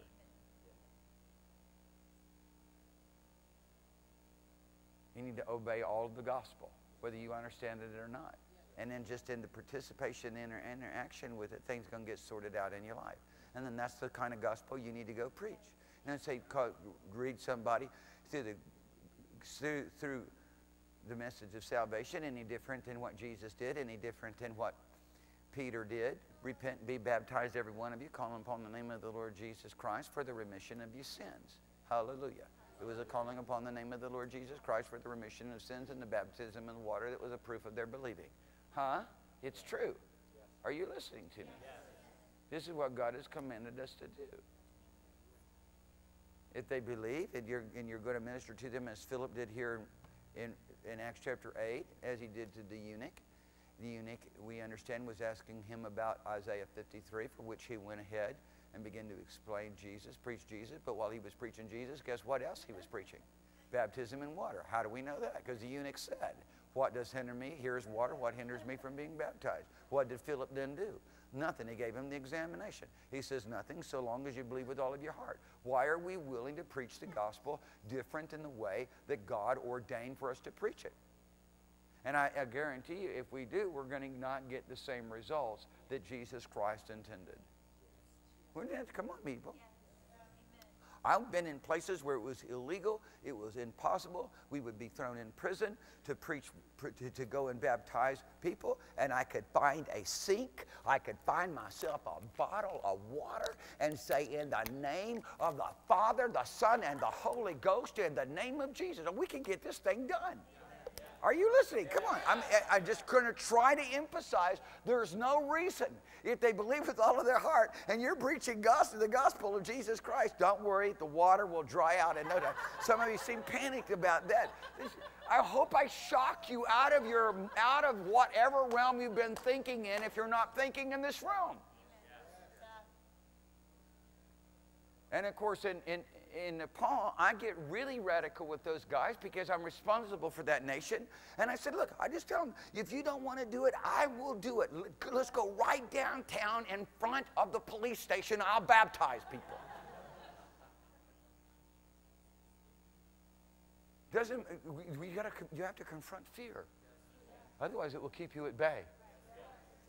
You have to confront your fear, your intimidation, because it's nothing but doubt and fear is demonic. It's a demonic realm all intimidation, all, all that realm, all discouragement, all that realm, demonic. Some say, well, you preaching is discouraging me. It's discouraging you because you don't want to obey. it's encouraging you as soon as you say, I'm going to do this.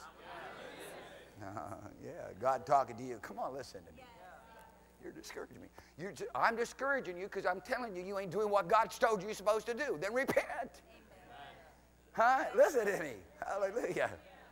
It might be discouraging to tell you you're on your way to hell if you are. Are you with me? But there is a provision that you don't have to be discouraged another moment. I call upon the name of the Lord, repent, you shall be saved. Amen. Hallelujah. Be converted, become like a little child. I think that some people skip that altogether. That, being like a little child part. Being converted, become like a little child. A little child will imitate his parents to imitate. Hallelujah. A little child will imitate Jesus. Hallelujah. And a little child will imitate the Holy Ghost. Huh? Instead of imitate a bunch of religion, religion. Huh? We, we, need to quit saying I'm a Christian, start saying I'm, I'm a religion. I, I've been born into religianity. I'm a part of religianity. And to be a part of Christianity means you live the life of Christ Jesus. Don't say something that's not true. Huh? Yeah.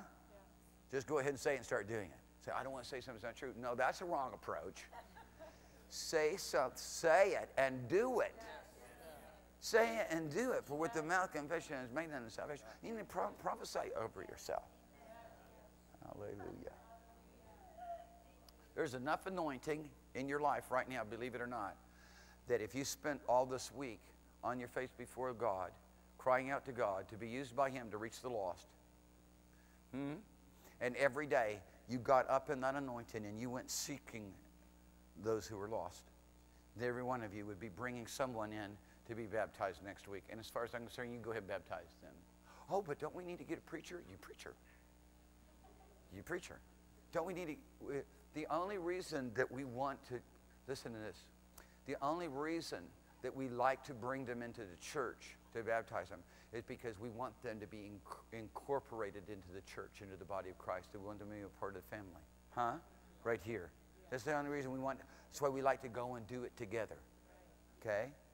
But, you know, if, if somehow there was no way for them to come to the meeting because they're from, you know, who knows, Timbuktu or they're from some nation, some foreign nation or some place that they've got to go back to, they call upon the name of the Lord, say, listen, here's what here's the gospel. Them that believe and are baptized. Are you willing to be baptized in water? Don't leave it for somebody else to do. I don't know what church they're going to go to. And then be an expectation they be baptized in the Holy Ghost and fire either before they get in the water or as soon as they come up out of the water. You guys are looking at me like I'm giving you somebody some assignment that, that doesn't even belong to you. Some of you are looking at me like, what are you expecting? A, a guy came to me and said to me, he said, you know, I've been around here long enough to realize what the problem is in this place. I said, okay, give it to me. Lay it on. So you just expect us all to be preachers. I said, thank you very much. I know it meant to be an insult, but I take it as a compliment. Exactly, you've got the message. You've been around here long enough to know exactly what God requires of you. We expect all of you to be preachers. Amen. Amen. Hallelujah. These signs shall follow them that believe. They will cast out devils. Amen. Amen. If that means being a preacher, then that's a preacher. You are a preacher. And so, you know, then you, it's very important just to, to, to recognize verse 19 or verse 21 or 20 and 21. This is Simon now wanting to thank one of the things of the Spirit. He's been he's called upon the name of Jesus. He's been baptized in water, but he's not been baptized in the Holy Ghost. But Peter said unto him, Your money perish with you because you thought that the gift of God may be purchased with money. You neither have part nor lot in salvation in this matter. You hear me? That's what he's saying. He called upon the name of the Lord Jesus. He'd been baptized in water, but baptism of the Holy Ghost is going to sort him out now. He's going to see. He saw. He saw devils go out. He saw people who were crippled walk and paralyzed people healed, who were all bound up with paralysis healed. Now he sees the working and the power of the Holy Ghost. Huh? He saw the He saw a real demonstration of power. This is a man who comes from witchcraft and sorcery huh? captivated by power. Now he sees an expression of power that goes to a whole nother level. Listen to me. People try to say that the people at Samaria didn't receive tongues when they received the baptism of the Holy Ghost because there's no tongues there. They saw power. Huh? Simon saw power when he saw it on Philip's life. Listen to me. He wasn't so much trying to purchase that. But when he saw the uh, baptism of the Holy Ghost as it was released hallelujah, a Pentecostal release through uh, Peter and John. He saw a display of power that he sought to have if it, by any means, if it meant purchasing it with money. Huh? I'll give you whatever you need. Give this power to me. This power is for free, but the most important thing for me to display right here, for those of you so that you can understand, is the Pentecostal outpouring of the Holy Ghost and fire is the display of power that supersedes all other displays of power. And it's about time you get yourself one. It's about time you get yourself one. It's about that display of power will give you such a fire on the inside of you, you cannot be quiet. You will have such a display of the power of God on the inside of you, you cannot ignore the purposes in the, in the interaction and the relationship opportunity that you have. It's such a display of power that you come with a, with a holy divine indignation against the sin and the iniquity that is around you. Oh, yeah. It's the very, very life and display of the power of the person of God Almighty. That's what Pentecostal power is. It's the display of the very nature and power and person of God Almighty, His very own Spirit. That's who the Holy Ghost is. He's the Spirit of God. He's the Spirit of the Lord. He's a very vital, he's a very vital source of God's own life living on the inside of you and me. Let God sort you out. If there's anything lacking, and, and I remember hearing preachers lament, uh, lamenting about it in the 60s, late 60s. Holy Ghost conviction has left the church. Where's the Holy Ghost conviction? It's not in the church. People just sit there all dry eyed and with the same, you know, kind of sober look that they walked into the place before there would be, when the Spirit of the Lord began to move and the preaching began, there would be not a dry eye in the place. People would be crying out to God to get right with God, and their tears would be turned into joy. And there would be celebration and rejoicing through repentance. Where is Holy Ghost conviction? God's church is going to have to let Holy Ghost conviction begin to rule our life. Holy Ghost conviction will keep you from sin. Holy Ghost conviction will keep you from making wrong choices. Holy Ghost conviction will bring to you an awesome awareness of the presence and person of the Lord Jesus Christ uh, as you stand before God with whom we have to do. I'm telling you, people, today is a great day for exploits. Come on, this is a great day for signs and wonders and miracles. You don't have to sit here and speculate and predict how it's going to happen sometime in the future. You can grab the hold of God, lay hold on the things of heaven right now and, and rise up with the authority of it. By the simple act of repentance and being converted and becoming like a little child. And saying, okay, Father, if it costs me my life, it doesn't matter what it costs me, I'm going to go with you. Hallelujah. Hallelujah. Whew. Hallelujah. Philip was really on a fast track. You know, uh, the disciples were with Jesus for three years and then Pentecost, and then they did all that they did immediately, started into it. Philip, as far as we know, came right in, right at the time. It, the way things look and as, as, as, as it expressed, he came right in at the day of Pentecost. He was one of the 3,000, okay? And just go with me on this, huh? Because there's, there's evidence, a reason to believe that Philip and Stephen were all part of that early, whether the 3,000 or 5,000, but the early part of the move of God. By the time you get to Acts chapter 8, it's only two years later. Two years later, two years later, being around the Holy Ghost church, look at what the Kosabaranea. Come on, people. I'm not going to, I don't want to abide good. I mean, praise God for good singing. Praise God for good shouting. Praise God for the moving of the Spirit. Praise God for the miracles that are done. Praise God for the signs and wonders that are done. But I haven't seen you been doing half of the what you should be doing because God gave you everything that He's got. Come on now. Come on now. It's time that the body of Christ begin to function as the church of the Lord Jesus Christ, where eh, the manifestation of the gifts of the Spirit are given to every single person. The manifestation of the power of God is given to every single, every, every one of you, the word of knowledge. Somebody's functioning in the word of knowledge. Somebody's functioning in the word of wisdom. There's the outpouring of the Holy Ghost and the display of tongues and interpretation of tongues. It should be continually ongoing. That's the only reason I even want singing. God said to me one day, He said, I'm not in, He said, church isn't about singing and preaching. I'm not impressed with singing and preaching. Church is about flowing in the Holy Ghost that produces singing and preaching. People just want to sing and preach. No, it's about you getting hooked up with God, start flowing in the Holy Ghost, and out of that, let there come forth the flow. Aseperetea. Alabatana ne ekestepiata. Mande este. Enesetoranoka. That maneka simbola neka. That enevretai. That has very specific things that God would then address in your life or in people around you through its interpretation of speaking with the understanding also. Hallelujah. Thank you, Lord Jesus. So look with me quickly in James chapter 4.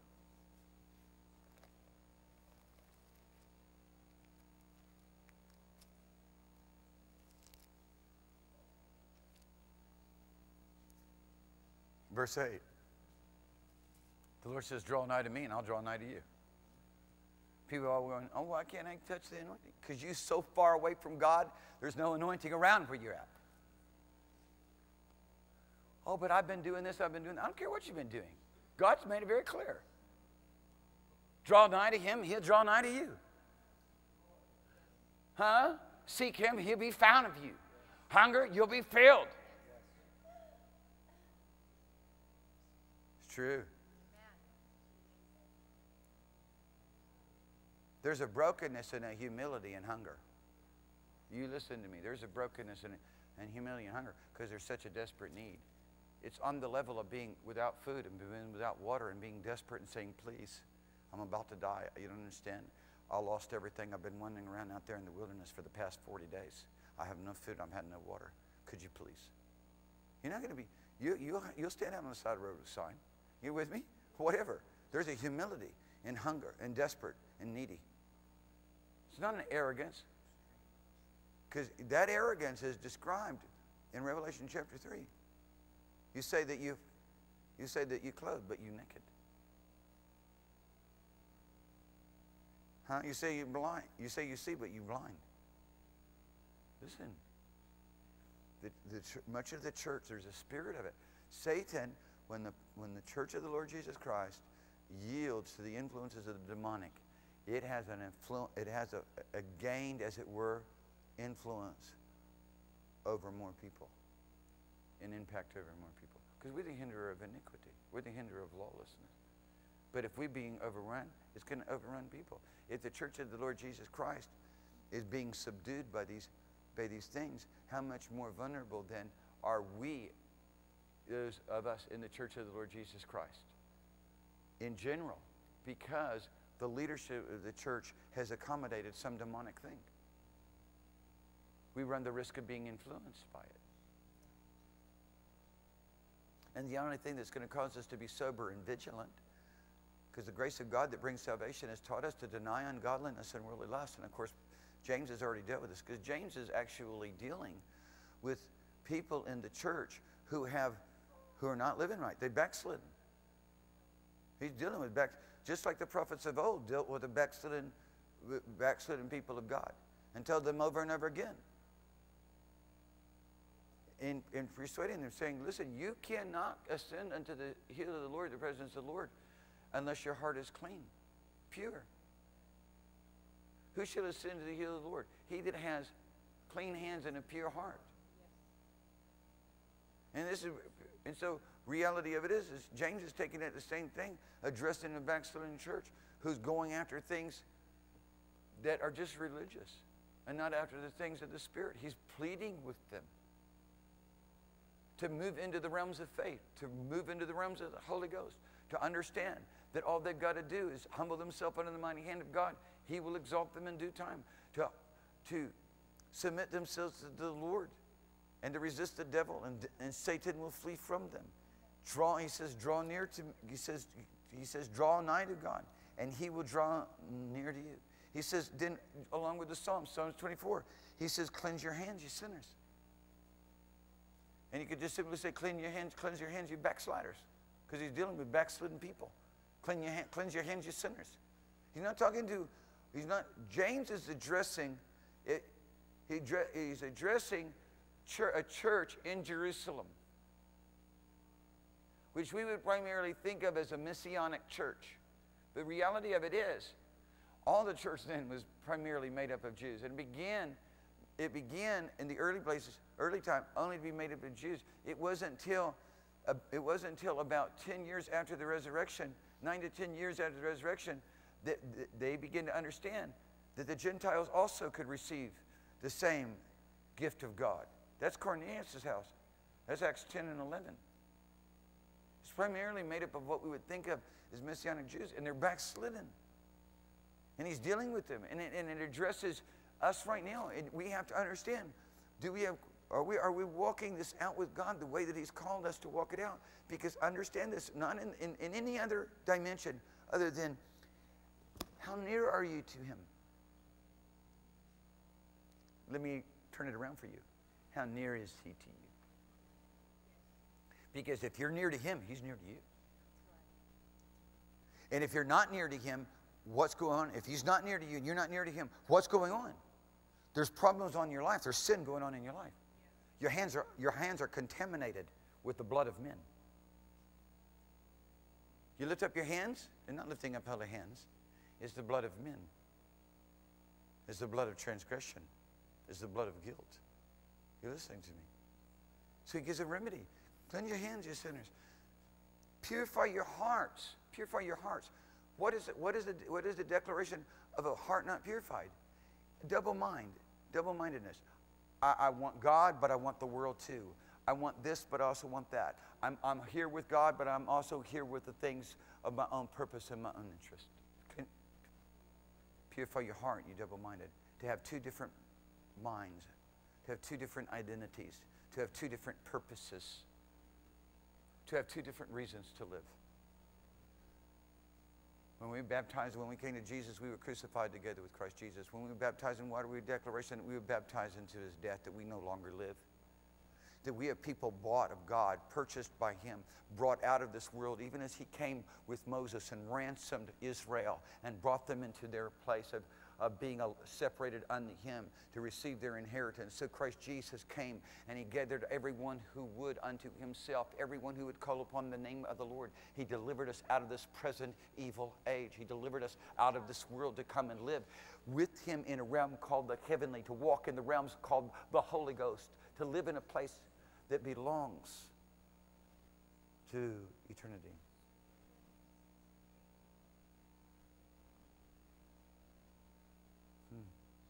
Jesus. People, if you do not have a wholehearted, 100% responsive yes to this, you're not right with God. You're not making heaven. You will not make heaven. If your heart does not respond to this with a wholehearted response, yes, Lord, I no longer live. My life is over. I live to do only your will. I want nothing of this world. I don't need money. I don't need clothing. I don't need food. I don't need housing. I don't need to be one taking care of my children. You love me and them more than I could ever love them. I'll lead them in the wrong way, but only you can lead them in the right way. You can buy your kids all the food and clothes that you want, but ultimately they'll die and go to hell. And you're telling me you provided for them? You didn't provide for them. You cursed them by your very, by your very own disobedience in the life that you lived. You listening to me? Because this is over and again. It's repeated over and again. Yeah, just go ahead and walk out.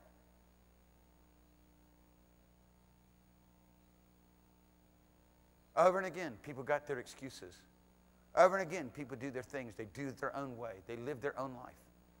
Over and again, we cry out to a church in the United States of America. God's raised up preachers all over America crying out to people who are obstinate, who will not listen, who want to go hide in big mega churches where there's no responsibility, no transparency, no, nobody in their life telling them, you wrong and you better get right. No responsibility on them, but yet just telling them the doctrines and tentative, tenets, tenets of, of, forgive me, of humanism. Oh, it's all about you being happy. Oh, it's all about you believing in yourself, that you can be more than you've ever thought to be. All you got to do is be positive in your life. All these other nonsense, uh, nonsensical things that have nothing to do with the gospel. That's where the masses of, of the American church have assembled themselves, and it's time for a turning back. It's time for a revival. And unless we do, I'm telling you right now, unless we do, a great darkness is already over this land. Unless we do it, darkness has already moved into the White House. And it's going to get worse.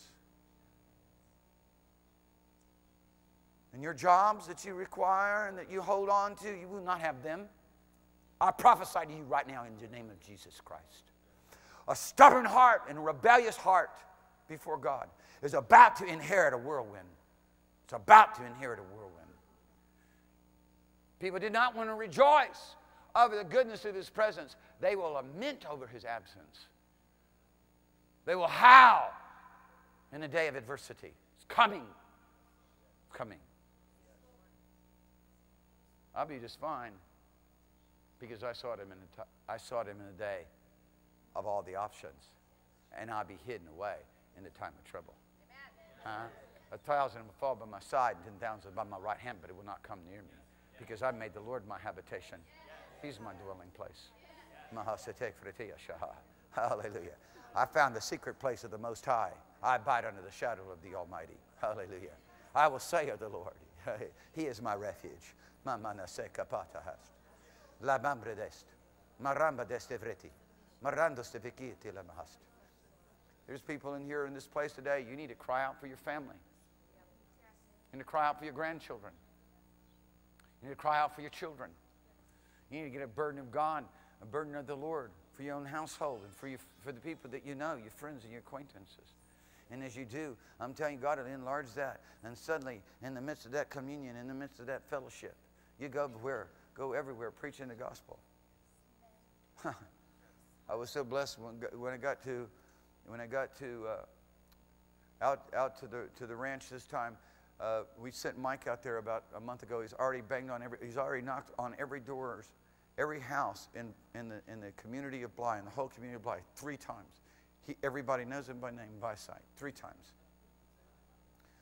Hallelujah.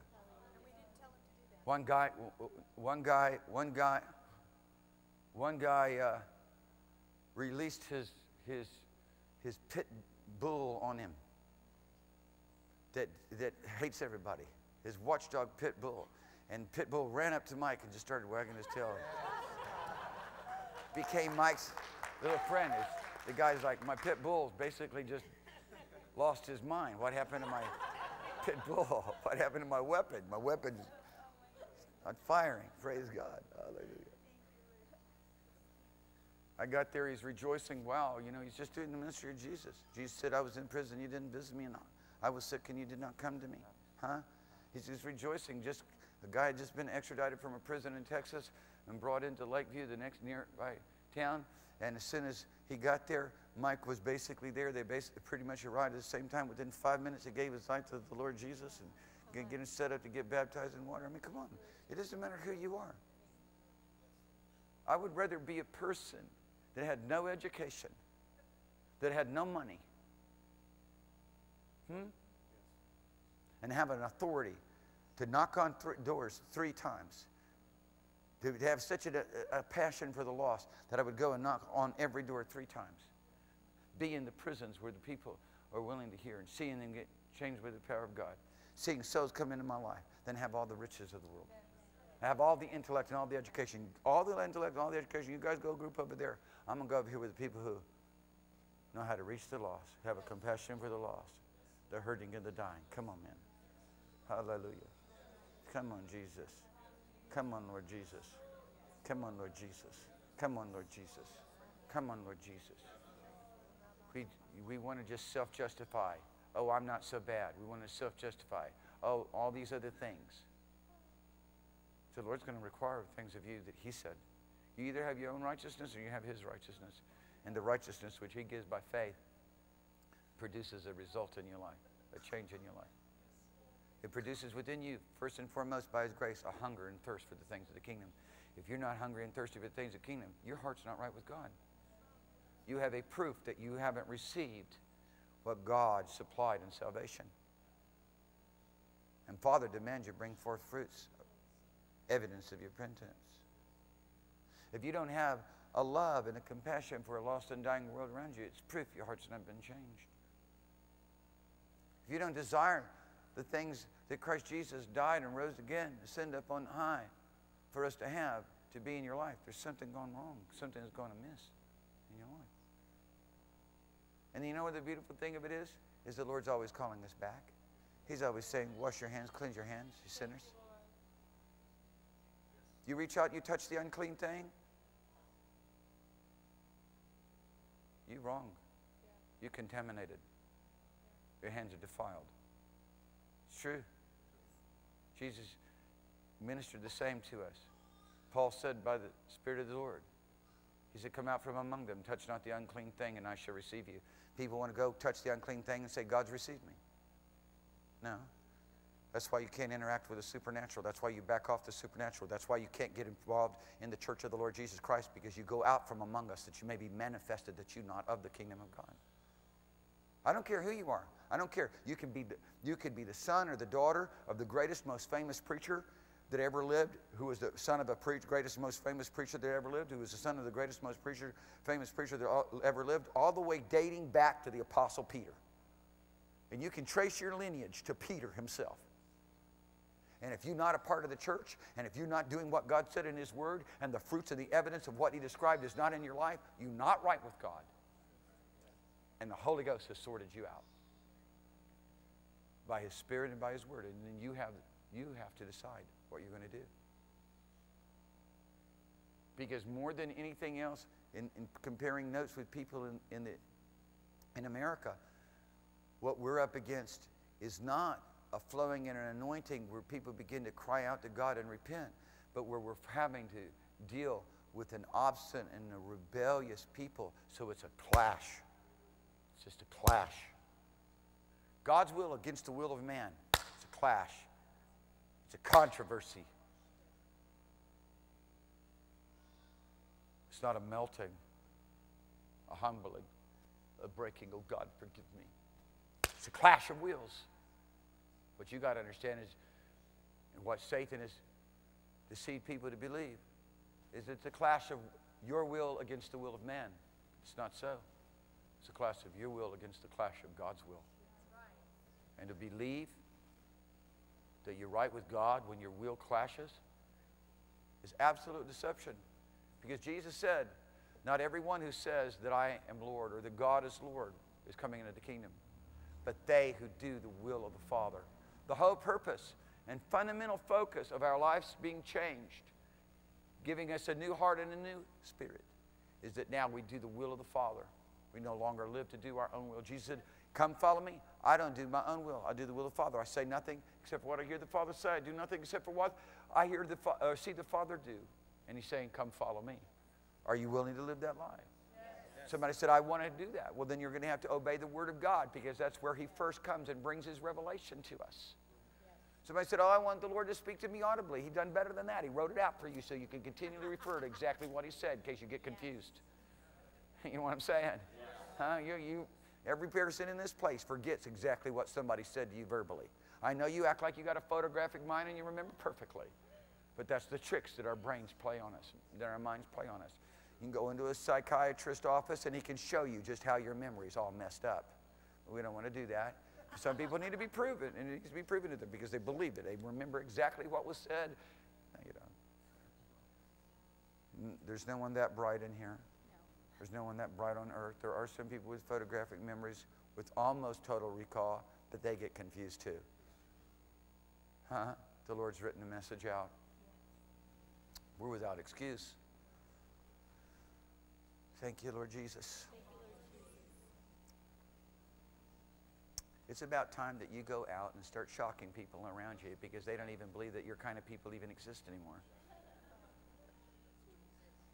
Hmm? Where you go around and you start talking to people about their soul and their needs, and come as one who has the power to supply it.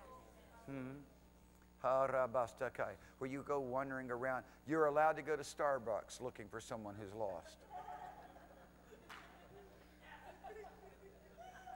just out looking around, just out looking around.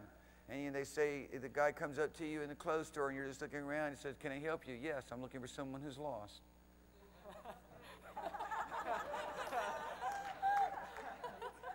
Lord will give you insight. He'll give you wisdom. I mean, He'll show you. When, you. when you're walking around, oh God, use me. Oh God, use me. Oh God, I'm tired of being barren and unfruitful. I'm tired of God. I'm not moving in your love, not being held back by lies and fear and intimidation. I'm tired of God of being discouraged and overwhelmed. Come on, people.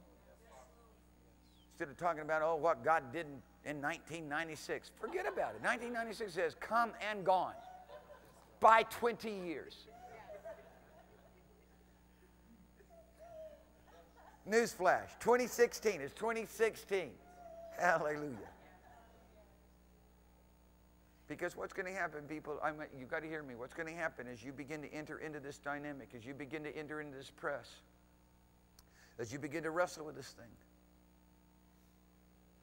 You know what's going to happen? You're going to begin to cry out to God. You're going to begin to get needy. You're going to begin, you're going to begin to see the lack that is in your life. You're going to begin to see the desperation that we have to cooperate with the Holy Ghost so His work can begun, begin to be done through our lives. You know what's going to happen as a result of that? Father's going to hear and He's going to answer. Father's going to see the desperation of your, of your heart and your soul to begin to participate with those things which are most sacred and most precious and most holy to Him that people have abused people running around saying there's going to be signs and wonders and there's going to be miracles and there's going to be a great demonstration of the power of God. And there's not even enough conviction for a sinner to repent, hardly. You hear what I'm saying to you? And whose fault is that? Theirs? No, ours. Because we all have something here to do. And that is to seek the Lord. That is to begin to call out for Him to do the things that only He can do. And that's, and that's going to be done in false pretense unless we're going with it, unless we're doing it. What are we asking God to do? You know, oh, God's, I'm, I, oh, God, I'm disobedient and unwilling to go, so please, we pray in Jesus' name, raise up somebody who will be obedient and willing to go. Should I run through that again, break that out for you, or did you get it the first time around? Was it painful enough the first time? Okay, yeah, I got a more better, a little bit better amen on that one than I did some of the other ones. Please don't tell us again. That hurt. Jesus. Bovrams.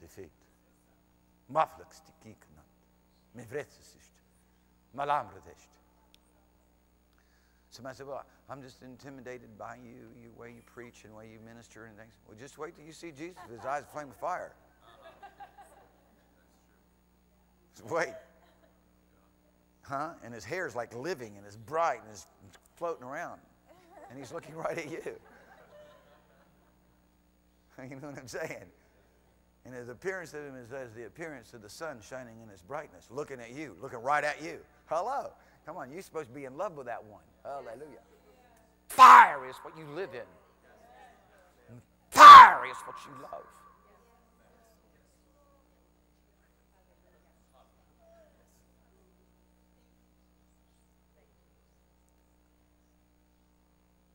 the great outpourings of God. Somebody said, well, in the days of his power, his people will be willing. I say, this is the day of his power, and his people are willing. Amen. Amen.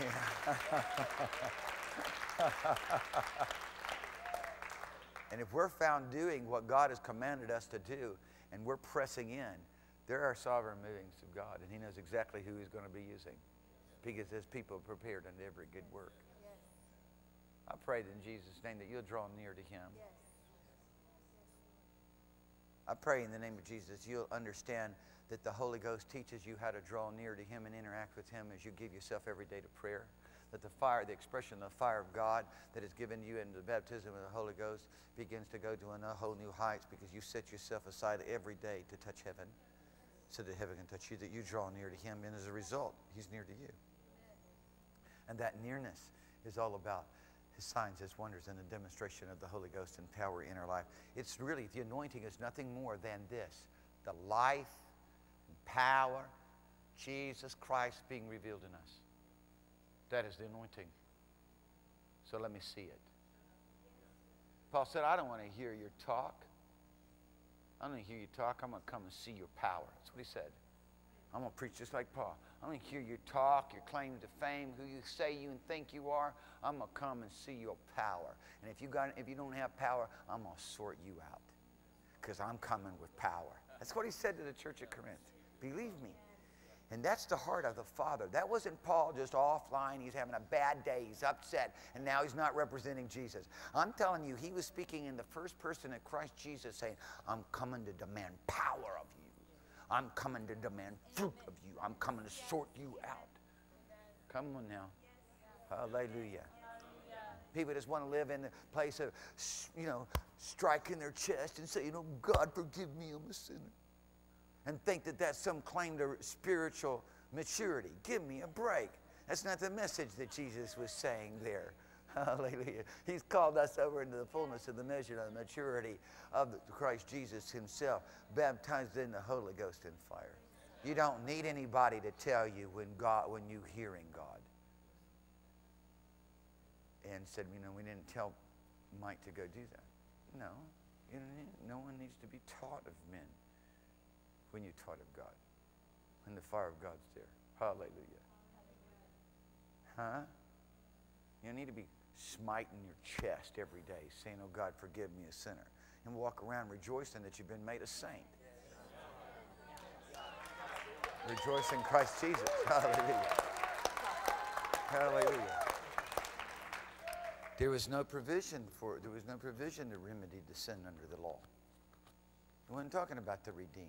It's amazing to me. People missing things, uh, you know, missing major things in in the message of salvation, mixing covenants up. It's time for you and I to live the covenant because the covenant's about living it. You can go you can get yourself one. You guys, you can go rent that's platform. Just stand there and sing all day. You have people gathered around, huh? Just stand there, flowing the Holy Ghost shake under the presence of God, laugh your head off under the joy of the Holy Ghost, and sing, huh? There'll be signs and wonders and miracles. Every once in a while, to stop and say, all you got to do is call upon the name of the Lord Jesus, and you can have this too, and go right back to it. Huh? And the power of God will fall upon them. As Peter yet spake. He didn't even, he didn't even have faith for them to get baptized in the Holy Ghost because he didn't know it was available to them. Are you listening to me? I can go, we'll take you wherever. You don't have to do radical stuff necessarily. I like the radical. I've walked out in the middle of July out on the beach in Ocean Beach with a full suit on. Everybody's on bathing suits. Get out in front of everybody and say, People, I'm here to tell you about Jesus. You reject him, you reject life. You accept him, life will come to you today. You don't have to be that radical. God will show you how to be radical your own way. But it's going to have results. Come on now. How radical do you want to be? Huh? Come on, people. Come on now. Come on now. Come on, how radical do you want to be? How radical? You don't have to climb a pole and preach the gospel. I've done that, but you don't have to do that. Climb a pole and preach the gospel. Get up above the crowd. Hey, folks, anybody wants Jesus, come over to me right now. Come on. What are you going to do? Because the Lord's watching, and he's, I'm telling you right now, he was excited when I climbed that pole. He's like, woo! I guarantee you, I know Bubba. He's, he, he loves to have fun. Look, at, what, hey! Somebody's doing it. Come on now, what are you going to do? Are you going to do? Are you going to live out your life for the approval of men, or are you going to live your life for the approval of the Father? Come on now. Come on now. Are you going to get into the fun? Are you going to get into the excitement of it all? Or are you going to go hide away in your own whatever, your own living room, your own stale, mildewy smelling living room? Come on now. Get out into the big adventure. Everybody stand with me. Stand up. Stand up. Stand up. Somebody said, My work schedule. You need to rearrange your work schedule. Don't they give you a lunch? Then they give you a lunch break? You can get a lot done in 30 minutes. You can get a lot done in 30 minutes. I tell you, you get a lot done in 30 minutes. Go talk to your boss, tell him you need an hour. He'll stay an extra 30 minutes. Are you listening to me?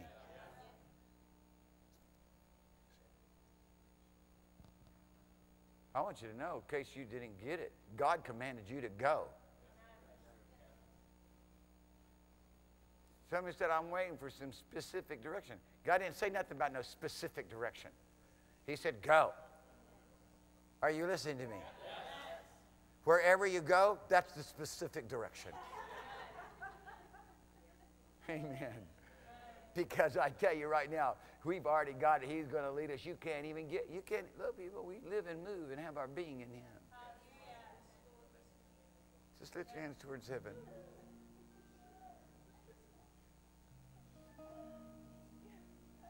I, there's none of this that you can do without the power of the Holy Ghost. I just believe today and tonight and, and this week today and tonight and this week. We're not going to do meetings every night this week. We're going to do we we're going to do meetings on Wednesday night and Friday night. So it's basically every other night. But I pray this week that tonight and this week you'll touch heaven, let heaven touch you in such a way that these things will not be an obligation, but just be a fire burning on the inside of you. God the Holy Ghost and His love and His boldness will take you, take you past where your mind will allow you to go. God's fire and glory will take you past way beyond where your intellect will allow you to go. You just go there in love, you go there in excitement. Because I'm telling you, that's what's going to shock people out of their mind, anyways. Because you just go in there in the flow of the Holy Ghost, you're just going there in love and, excitement. You're just so blessed. And they can see it all over you. They don't see fear and intimidation. You're trying to come up with something, all, you know, concerned look on your face. But to see it swept away in the love of God. Come on, Josh. I praise God for the anointing in your life, man. You're going to get these things done. Father's going to use you in an amazing way in the kingdom. Hallelujah. Way beyond all that you can even imagine. Way beyond all your fears and concerns. Father, we thank you for a special anointing on Josh Matas so you can begin to reach out and to the young men 13 to 20 years of age. Right now, I'm thinking 30, ages 13 to 18. You know, get together with them, encourage them, you know, once every two weeks or once a month. Let's talk about that. I was going to take it beyond that too. Hallelujah.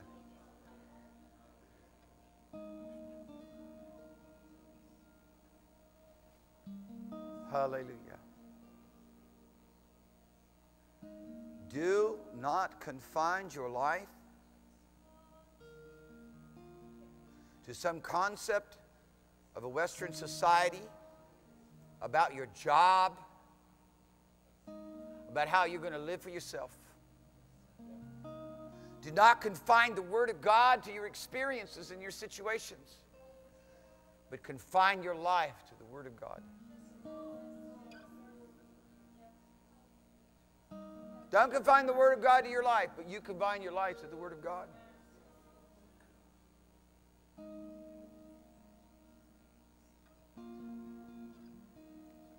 You must understand, people, I'm agonizing right now on the inside because of the lost state of my nation.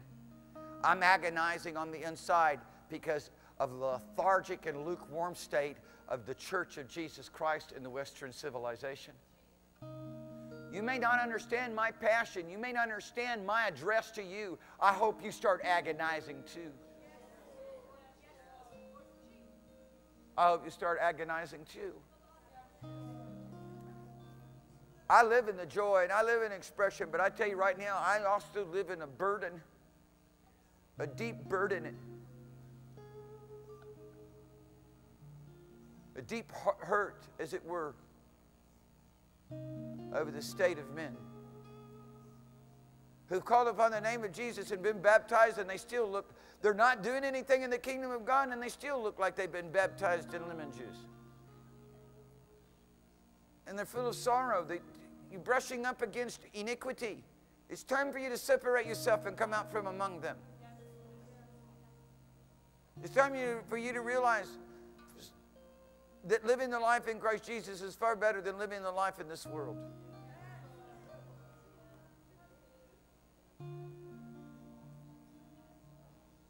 I will live in health, spiritual health,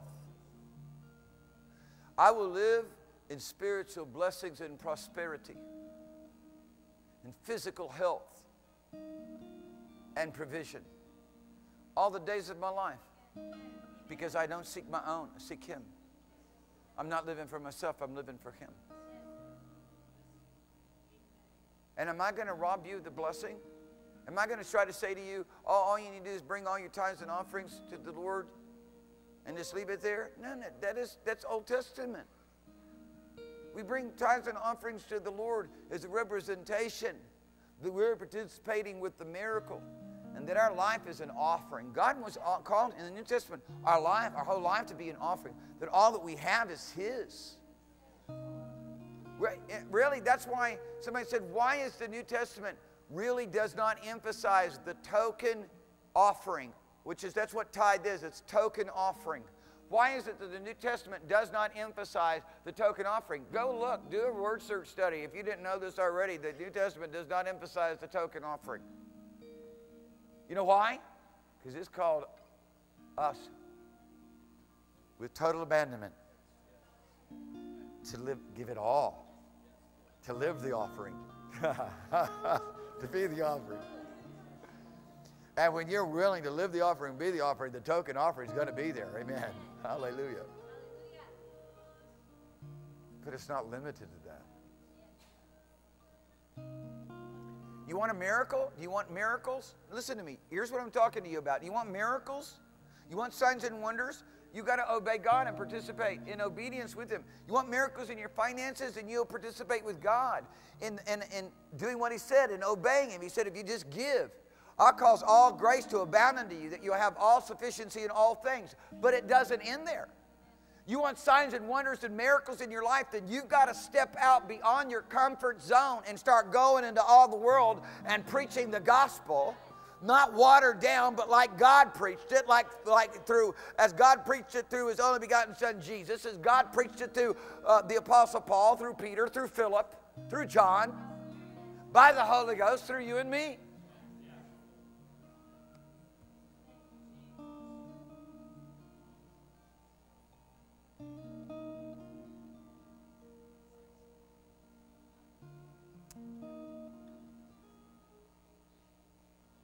This is the abundant life. The abundant life is not found in you going to church on Sunday, having a job, having a house, in debt with a car and everything else, so burdened that you're worn out by the end of the day, taking care of all these things and living that life until you die. That's not the abundant life. The abundant life was you to forsake all for the sake of the call and come and follow Jesus. That's the abundant life. Now people are all, they're agonizing because they supposedly turned the life over to Jesus and they're doing all these things that they're not supposed to doing, wondering why they don't have the abundant life.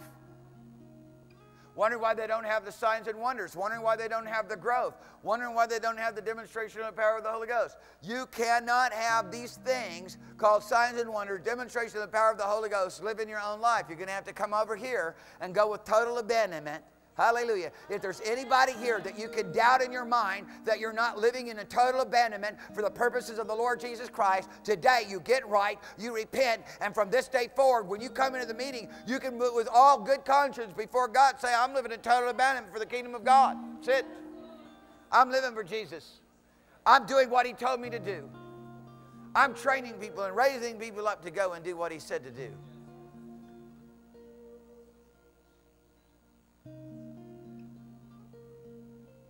Somebody says, Well, how about the little old lady? Well, you're not the little old lady. So just forget about her for right now. How about the, the little old guy lives in the backwoods somewhere and poor and doesn't have a car and only has a horse? You not that person. So we're not even considering them right now. We're only talking about you because neither one of them are here today. God's got a job for everybody to do. And I'm looking at the people that He wants to change this nation through. I'm looking at the people that God wants to change this nation through. Hallelujah. Hallelujah. Obey God, you'll see the miracles. Get yourself in a situation where people are going to persecute you and laugh at you and mock you, and then you'll see signs and wonders. Get out of your little comfort zone. Get out of your little whatever it is that you live in where you routinely go around the same folks and feel all secure about yourself. You have to get out of a place where you go trust God or you die. Amen. Then you can start seeing those things that He described in His Word. We for signs and wonders, people. God has purposed and ordained and demands that His gospel be preached with signs and wonders and demonstration of the power of the Holy Ghost. And you and I cannot be willing to live a life without them. God has purposed that His church is the fullness of Him that filleth all things. And we cannot be so evil as that we would stand by and allow it to be something less. People say, I'm going to go around and try to find that church. No, you get there and you'll mess it up with that kind of an attitude. God has purposed that you give yourself over to obedience to Him right where you stand right now. I'm calling every one of you to a place of surrender and commitment to God that you cannot continue to be like you've been, that you can't have excuses to say why you're not participating, that somehow you don't have. If you don't have, God is willing to supply. If you don't have righteousness, He's willing to give it to you right now. If you do not have the baptism in the Holy Ghost and fire, He's willing to give it to you right now. If you do not have power for signs and wonders, He's willing to give it to you right now. But you got to want it with everything that is in you. It can't just be something you're willing to let pass by and argue with in your mind. It's got to be sacred to you. Hallelujah.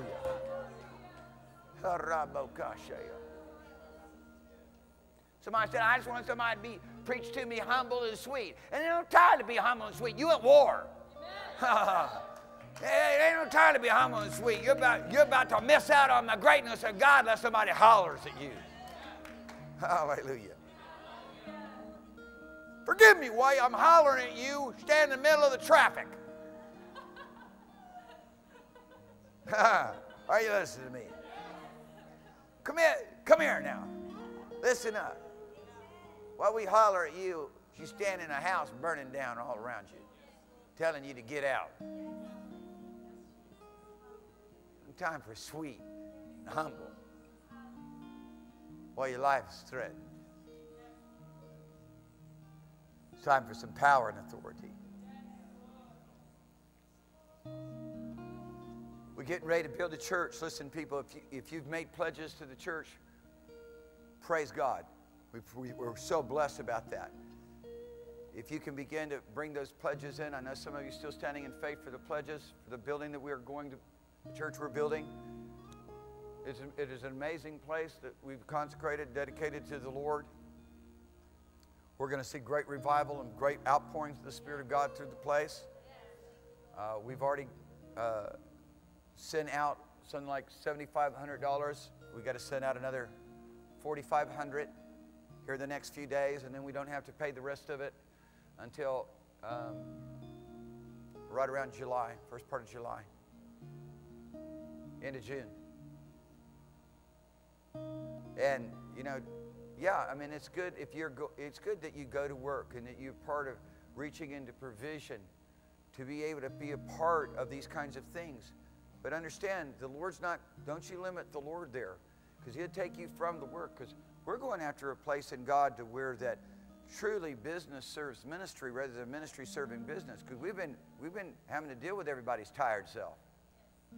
Are you listening to me? Because you've worn out giving your life to make money for the wicked. Are you listening? That's all backwards. The wicked's supposed to be making money for us. What happened to the program? Father, to show us how to begin to move into things, if you'll get out of your comfort zone and start getting a hold of faith, which you're not going to find except for on your, in a place where the Holy Ghost teaches you how to talk to the Father, where you begin to touch heaven. Hello? God's going to give us the ability to do it. To create means by which people can come in and be a part of making wealth for the kingdom. In other words, business serving ministry to every turn in the road is about reaching the lost. Every turn in the road is about raising up orphans to take hold of, of their nation, about taking care of the, of the uh, elderly, so that the nation can be open that much more that is now currently closed to the gospel. We're going to see it happen in Kashmir. We're headed there now. We're headed there now. People say it can't happen in Kashmir. It's going to happen in Kashmir. We're going to watch Hindus and Muslims come in by the thousands and the tens of thousands. But Father's already given, Father's already given us a plan to do it. I sought the Lord about six years ago, five or six years ago. Can't remember right now how long ago it was, about five or six years ago. And I said, Lord, give me a plan for Kashmir. It's so like Kashmir from my heart. So, Father, give me a plan for Kashmir. He gave me a plan. I immediately set within the first, as soon as God gave me a plan, it was within two months. I set into actions. Well, I immediately set into action. It took two months for it really to get underway. We set into plan, the set into action the plan that God gave us for Kashmir. And it's being launched. It's being launched. It's being launched. It's being launched. It's being launched. And we want you to be a part of it. We want you to understand it. Somebody said, Well, you explain it to me. You need to get down on your knees because if I explain it to you, it'd be too big for your mind to even begin to comprehend. You need to get down on your knees and understand. Hallelujah. Somebody said, ah, you're talking down to us. No, it's bigger than my mind can comprehend. If your dreams and visions don't scare you to death, it's not from God. If there's no way possible for you to understand how it's going to come to pass, it's not from God. Hallelujah. You know, he does talk to you just like he talks to Abraham. He says, Go. Go into your inheritance. Go. Where are we going? I'm not telling you. Just walk one step at a time with me. Hallelujah. Thank you, Jesus. Thank you, Lord Jesus. Thank you, Lord Jesus. Thank you, Labo Serena Engeste Pilita. Membrena, membresara, membresificato, supreme. Hallelujah. Hallelujah. So let the fire of God, the presence of the Lord fall on you right now. Just let the just let the power of God. The fire, listen, no, listen, don't try too hard. It's so much easier than that. Just let the fire of God fall on you right now. Let the presence of the Lord, let the goodness of God overwhelm you right now. Begin to set yourself to the master's business if you will do it. Somebody said, I can't find, I can't find the boldness and the confidence to go. Go, and you will find the boldness and the confidence to go. Believe me. Begin to start. Do what God said to do, and it will. And the things of, of the Spirit will begin to just burn on the inside of you.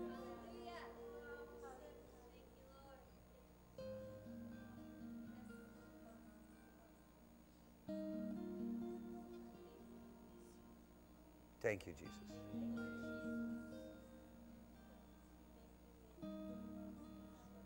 Thank you, Jesus. Thank you, Lord Jesus. Mm. Thank you, Lord Jesus.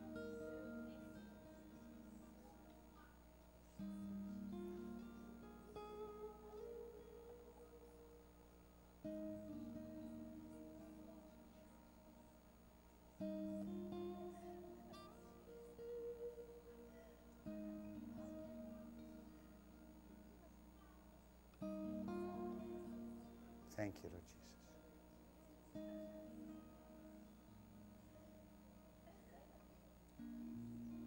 Thank you, Lord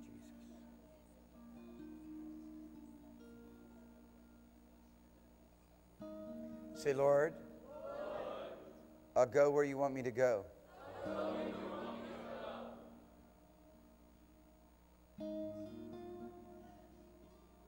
And the Lord says, Good. That means everywhere. Now I'm saying, Lord, I'll go where you want me to go. And the Lord says, Yeah, good. Then I'm going to take you there, and, exa- and wherever you are, that's exactly where you're supposed to be. So start preaching, start ministering. If you've not been baptized in the Holy Ghost and fire, you're not equipped. Because if you're going to go for God, He demands that His gospel be preached with signs and wonders and demonstration of the Holy Ghost and power. And you've got to believe Him that that is going to happen as soon as you start because He says, Do this, and I will confirm my word with signs and wonders. Hallelujah. Hallelujah. Uh-huh. Yeah. You were waiting, oh no, I'm concerned that we're not going to have signs and wonders, so I'm not going to say nothing. No, he said, do it. And I will go everywhere with you, and I will confirm my word with signs and wonders. Start doing that now. In the name of Jesus.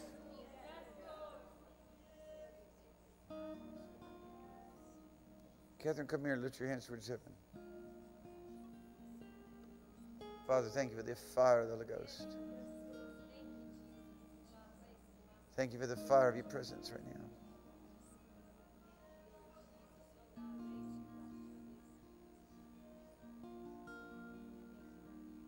Thank you, Jesus. Paffens. Paffens. Best. Befrest. Befrest. Befreste vrouw. Now in Jesus' name. Now in Jesus' name. Now in Jesus' name. Now in Jesus' name. Now in Jesus' name.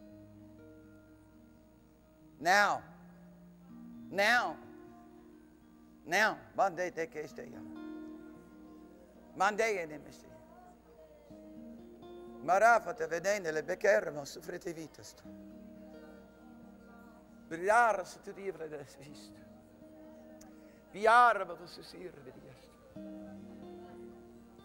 Thank you, Jesus.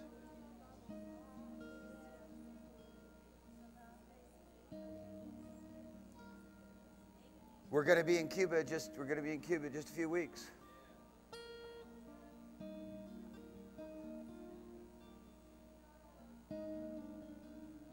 We need, we need people who, who know how to touch heaven around us. We don't need people who know how to finance it because there's not enough money in here. We'd like, for, we'd like for all of you to step into another realm of faith in finances so that you can finance it. Praise God. Hallelujah. But right now, we want you to, we want you to, in, with your fiery prayers, man. Come on, people. Come on, God's talking. God's talking to you. He's calling you to a place that goes beyond human energy. God is God, the Holy Ghost is calling us to a place that goes beyond anything that we've known up to this point. You must listen to me. It isn't enough. It isn't enough. What you and I can supply, it isn't enough. It is what God supplies that is more than sufficient. It's all sufficiency. What you've known up to this point was only that provision of divine grace to bring you to what God is pleading for someone to step into. It should produce within your life a great hunger and passion to be a part of it rather than some kind of discouragement. Do not let the pride of life dominate you because you look upon yourself and you didn't design those things that you think in your mind according to that which you could do for yourself and by yourself. It's not like school, it's not like an academic setting or a workplace setting. It's a realm where men become hungry and desperate for what that for that which that goes far beyond anything that they can do of human ability. And in asking with such a heart and such a passion and such a needy desperation, God supplies of His own power and might to work through us things that the earth has never seen that men have never witnessed, the signs and the wonders and the demonstration of his power that he himself has demanded his gospel be preached by. It's not our idea, it's not our needs for proof, it's God's plan and design. It's God's plan and design. That they beholding the signs and wonders which he did, hearing and seeing the miracles Hallelujah. Believed the ministry of Jesus. Say, Lord, I'll go wherever you want me to go. I'll be whatever you want me to be. He desires that you be Jesus. He desires that you be that which He supplied to us in the Holy Ghost. And say, Lord, I'll do whatever you want me to do. He wants you to do signs and wonders.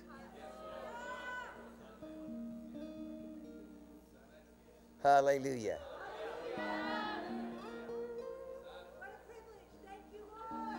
Yeah.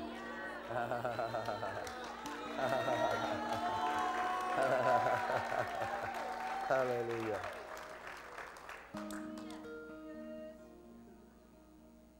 So I will press in. I'll press in on God.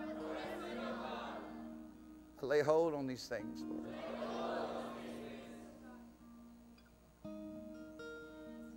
Thank you, Jesus.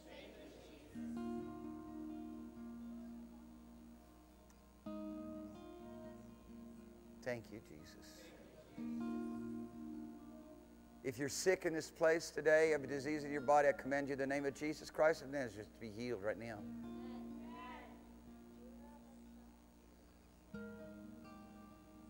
If you're tormented or harassed in your mind, inflicted in any way, I command the name of Jesus Christ of Nazareth for Satan to take his filthy hands off of you and release you right now.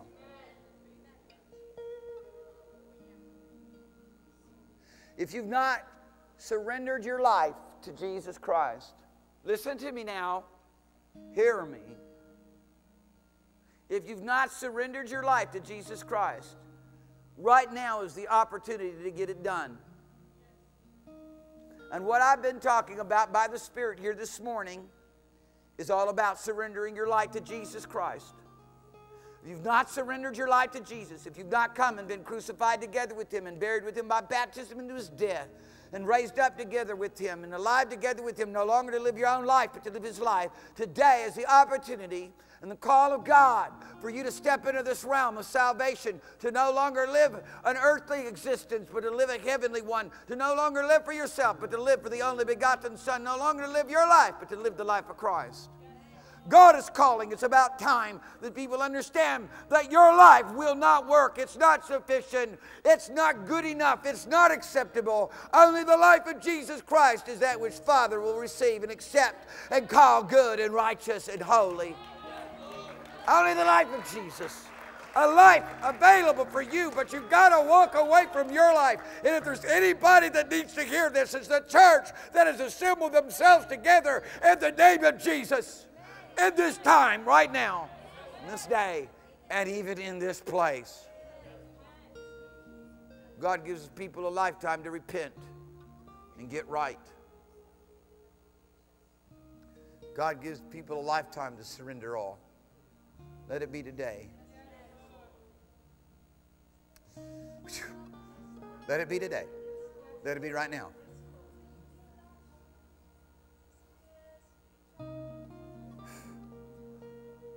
Let it be right now.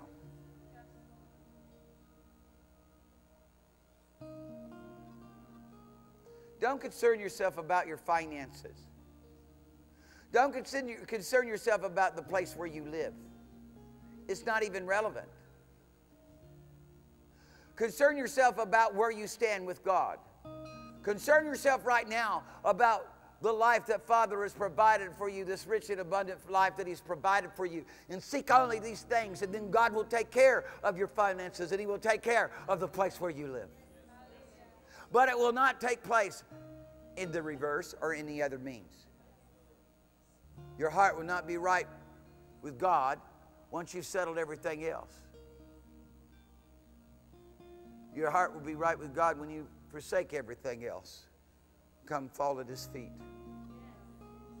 Hallelujah.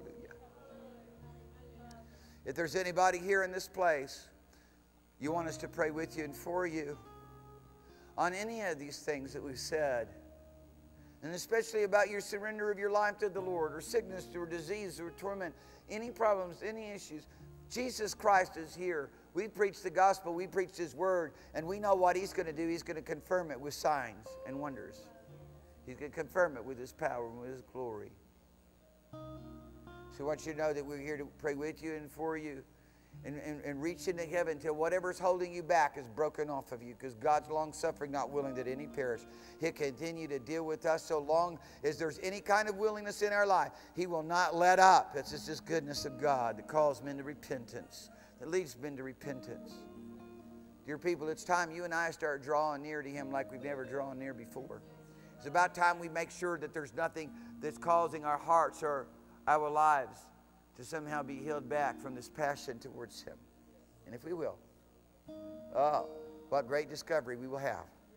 Men set out and gave their lives to discover the things in the depths of the sea. Men set out and gave their lives to discover the things that go beyond our atmosphere. Men set out and gave their lives to discover the, the, the, the mechanism of the way that the body works and the way that nature produces the things that it has produced. It's about time God's people begin to set out and give their lives to discover all the things made available to us in the Holy Ghost. Hallelujah. Hallelujah. Come on, man. There's three people that clapped. I want to come on now. Come on, baby.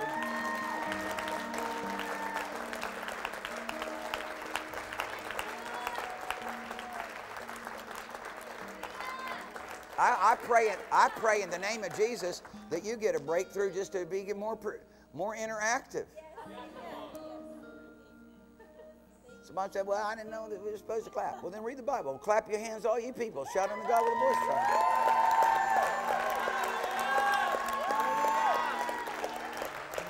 Because that's what that's how we were. That's a part of the way that we participate with God. Hallelujah. Come on now.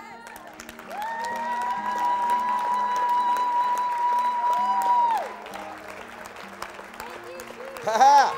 Ha ha! Ha ha! Woohoo!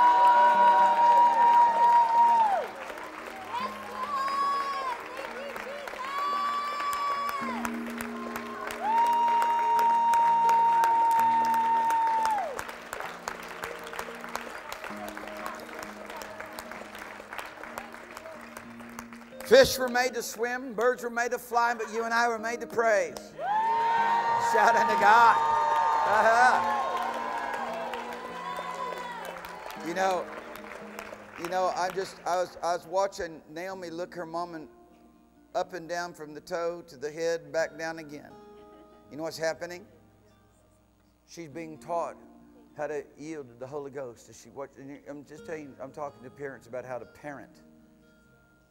There's so many people, so many people. They raise their kids, and and and and their children at the young age of learning sit there and watch their parents do nothing, but with a blank stare, huh?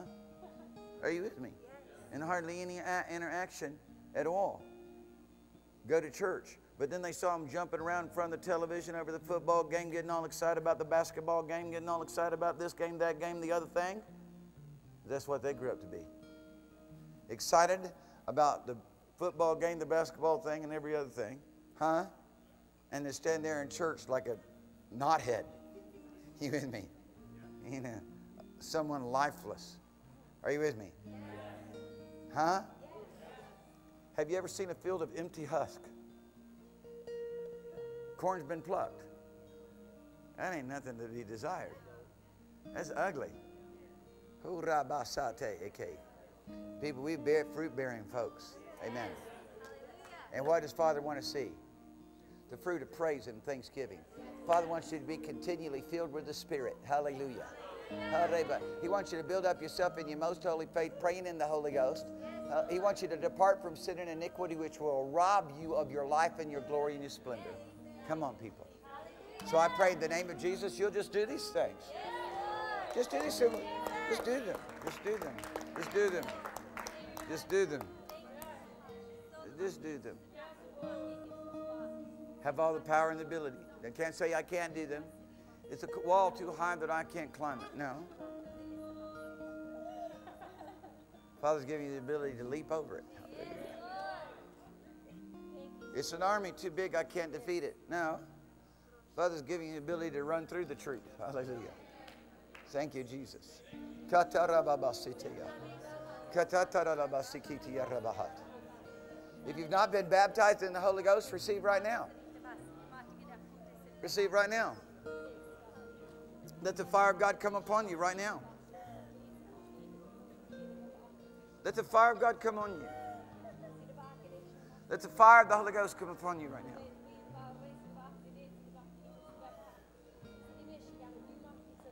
Thank you, Lord Jesus. Everybody just come worship the Lord with your giving. Find a bunch of people around you, hug them, bless them, tell them that you love them. Just bless them. Go to the next person. Don't talk about your soup, your stew, the weather. No one cares. It's 81 degrees. Just clear the air. Just go to the next person. Bless them. Tell them that you love them. Just go to the next person. Go to the next person. Hallelujah. Go to the next person. Go to the next person. Hallelujah. Thank you, Lord Jesus. If anybody wants prayer for anything, we're here to pray with you and for you. Father, touch you. Father, we thank you that you made Ruth Anna and Cade signs and wonders.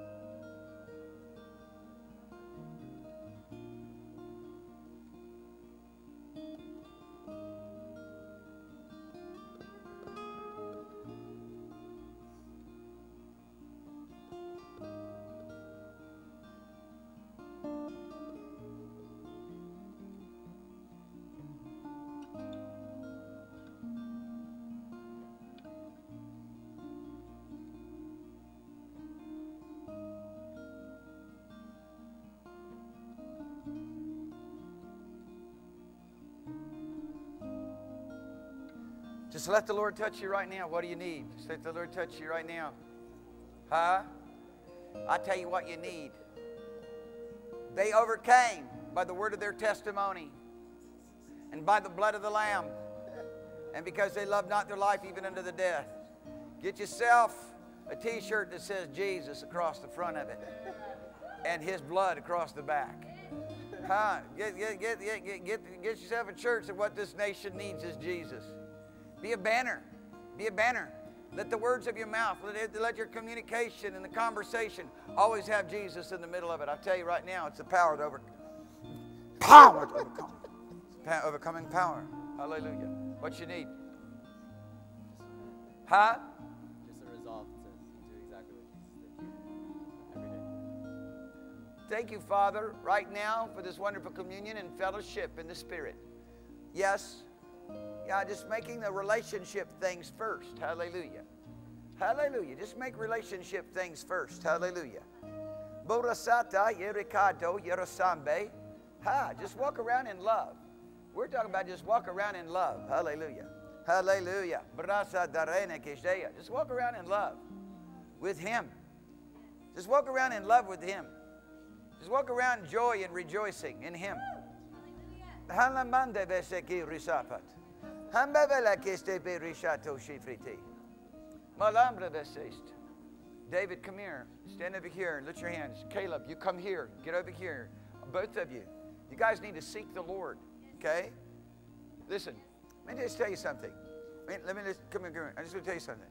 You do not open yourself up to demonic powers and think that somehow, you know, that it's going to be over. You don't have to, you just can just be offline of seeking God. Father would like to take you and make you strong men in the kingdom. It ain't going to happen sitting back there. It ain't going to happen that way. Nonsense. Spactu sidefiti. Spactu titerefisi. Spactu karabashateya. Mi brasa fitile. You guys need to get real with God. You know what I'm saying? You need to get it real. Huh? Amazing. Bafrataseya. Membre dessade. Mambato si fist. Bevres. Bevres tust. Breves tu sarneia. Malanga este te. Malanga deste sist. Malanga leste perasist. Barasatif. What do you want?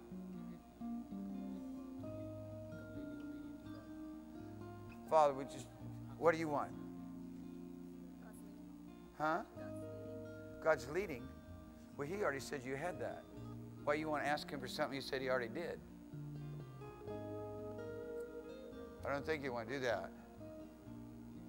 What you want to, what, what you want to ask the Lord are things that, okay, He said that He wants you to have, right? That He wants you to respond to, right? So I'm going to pray for you. I'm going to pray and ask God, take this family, because you guys have started a family, and work in your lives a grace to where He's absolute Lord, ruler, sovereign leader, which is He's already said He would be if you'll let Him. Hmm? But you have to want that with more than anything, with everything in your life. With, have to want that more than anything else. He give you everything He's got, but you got to want it more than anything else. He will give you everything He has, but you've got to want it more than anything else. Everything that He has, He will give you, but you've got to want it more than anything else. Everything that belongs to Him, He give you, but you've got to want it more else. And you're going to have all these various different options along the way. You can choose this, you can choose that, but it's got to be 100% in your heart, settled, resolved in your heart. No, Lord, all we want is you. And it's got to be all we want is you on the level of you obeying Him. And there's proof and there's evidence.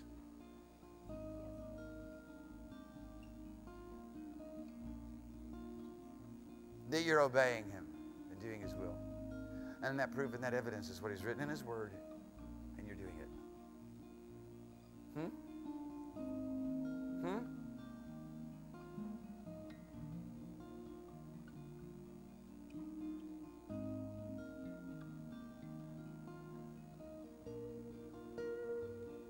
See, God, the Holy Ghost wants to do a work so deep on the inside of you that nothing else even matters anymore but Him.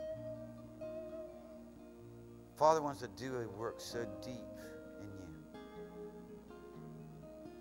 that all that is important to you is heaven, His will, His glory, His manifest presence now in your life.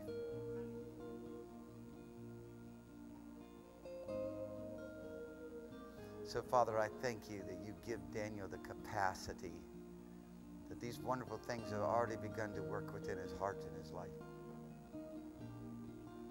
Hallelujah.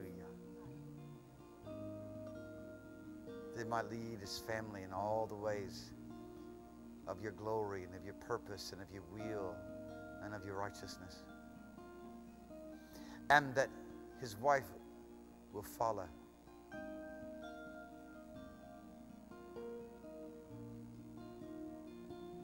and submit.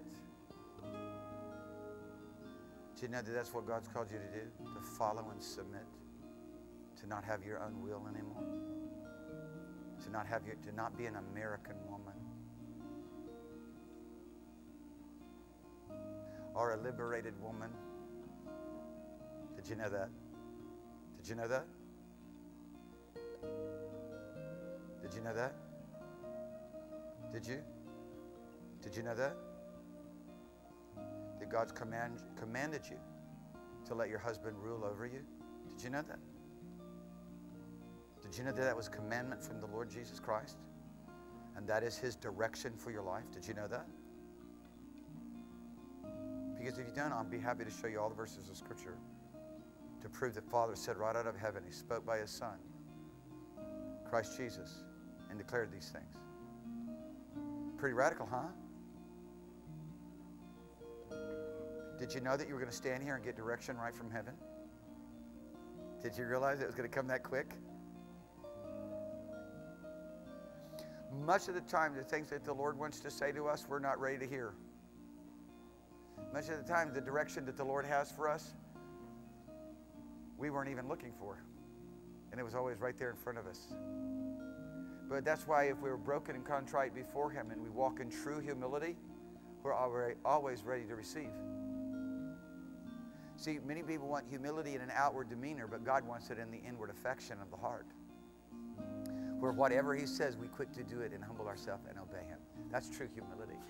The rest of it's a show. It's a, it's a, it's a, you know, a posture of an outward form.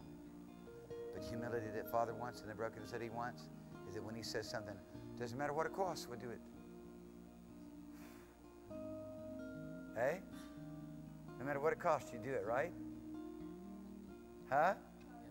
Yes. Is that yes? Yes. I know in India they say yes that way, right? What are you saying yes? Are you saying maybe? Are you saying absolutely? Praise God. He heard you. He heard you. Absolutely. He heard you absolutely. Hallelujah. So, Father, we thank you for the divine grace and power and ability to do those things, oh God that your servants have said that they will do them. Hallelujah. Hallelujah. Ha ha. So you be full of joy. So you be happy. And so you begin to rejoice, and everything of the former conversation, of everything of the former life, and of all those other things that belong to the advice and counsel of men. God says, Blessed is the one who does not walk in the counsel of men or the counsel of the ungodly, nor stand in the way of sinners, hallelujah, nor sit, be seated in the seat of the scornful, but they delight and rejoice in God, hallelujah. They shall be like a tree planted by the water, who will not know when the famine comes, they'll always be bringing forth fruit. Hallelujah. So just be refreshed right now with Basa Resta. just be refreshed right now, Brasataya and the Mangalea and just Barabayo and begin to rejoice in God you're saved. Just rejoice. Hallelujah. Just ha ha and Palastapeo and Amesha Ritaya.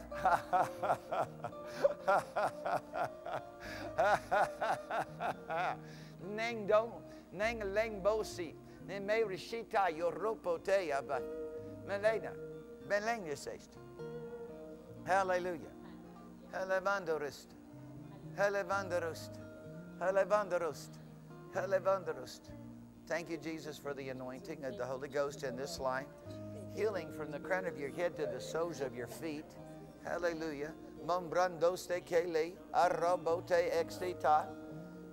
You know, let me just tell you something. Listen to me. Gideon, oh, no, forgive me. Joshua, I'll get the right person here in a minute.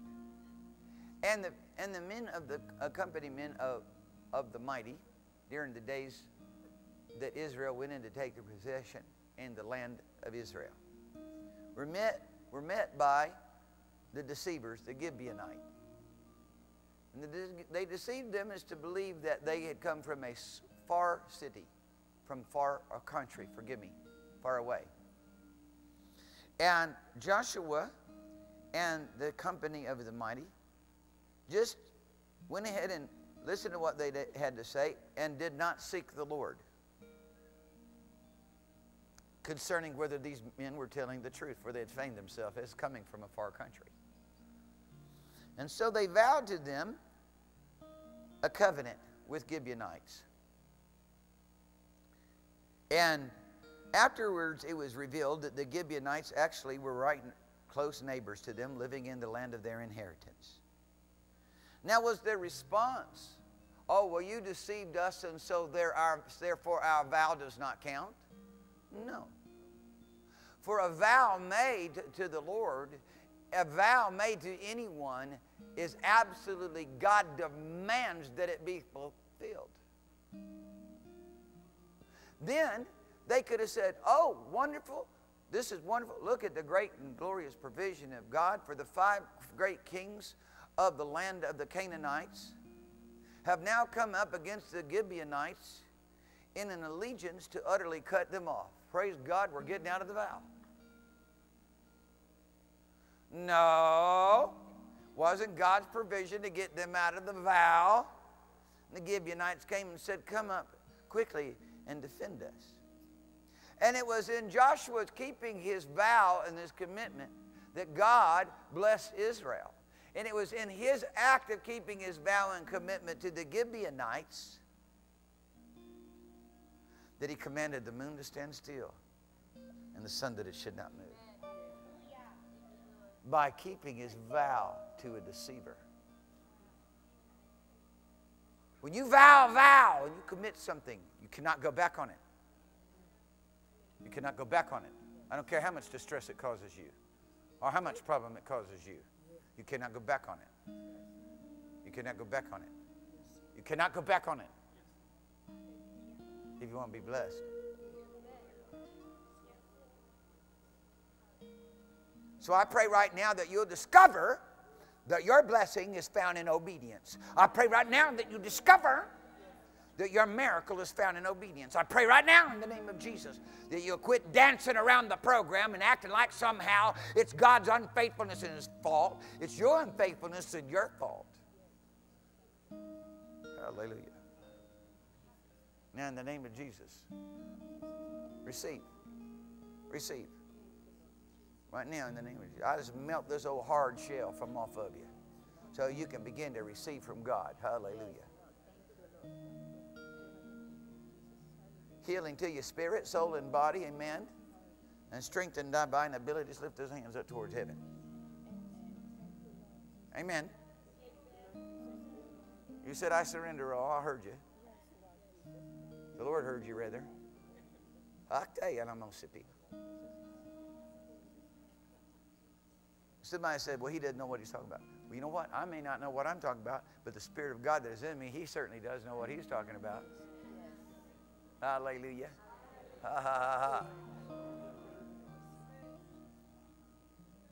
you might look around and notice everything after the flesh, but I decided a long time ago obey God and know things after the Spirit.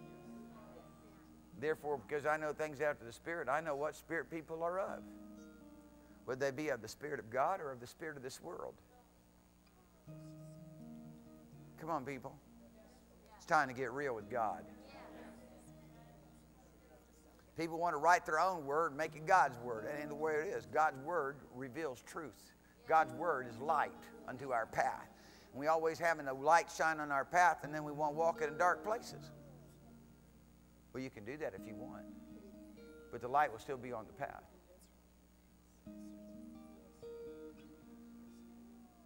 Now you just believe God. Now you just believe God. I said, now you just believe God. Just believe God. In the name of Jesus.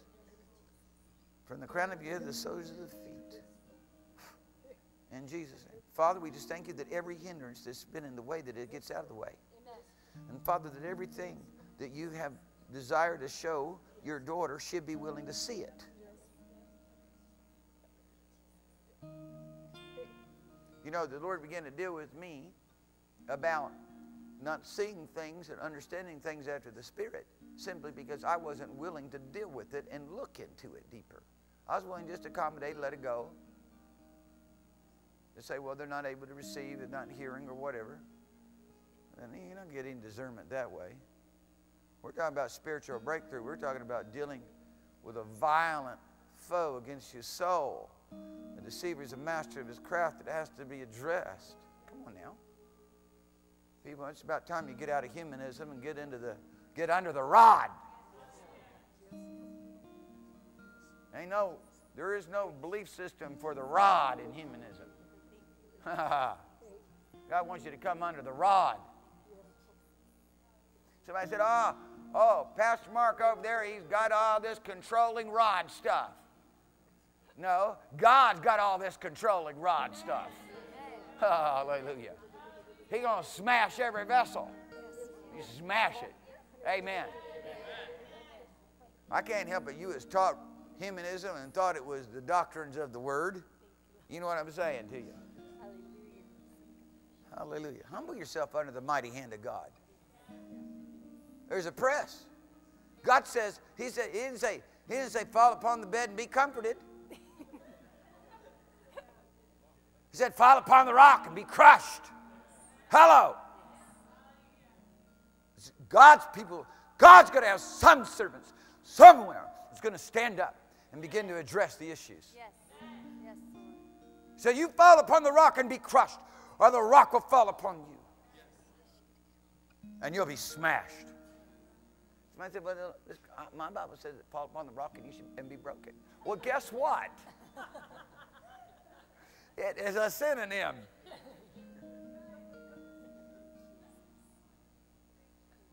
And they, the two words that are, that are huge words in, in impact crushed or smashed. I'd like to be crushed or broken and crushed. Which one do you want? I like broken and crushed. Well, get with it. But they both mean the same thing. Neither one of them look like fall upon the bed and be comforted.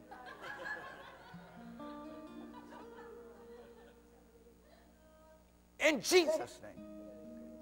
In Jesus' name. I command you to have eyes to see now, and ears to hear now, and the heart to understand. In Jesus' name. Okay, guys, I want you to join hands together with one another. Listen to me. Listen.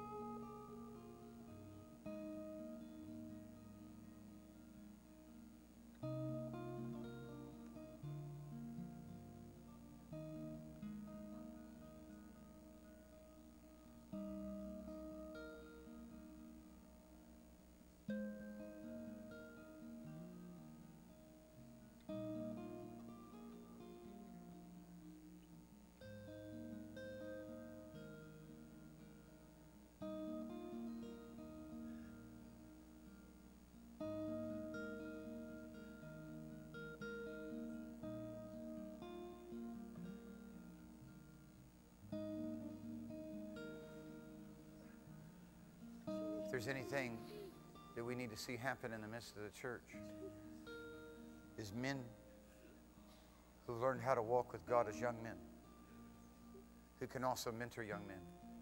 There's a great breakdown in the crisis of, of young people, ages 14 through 20. Critical years, they're lost to the kingdom. They fall away.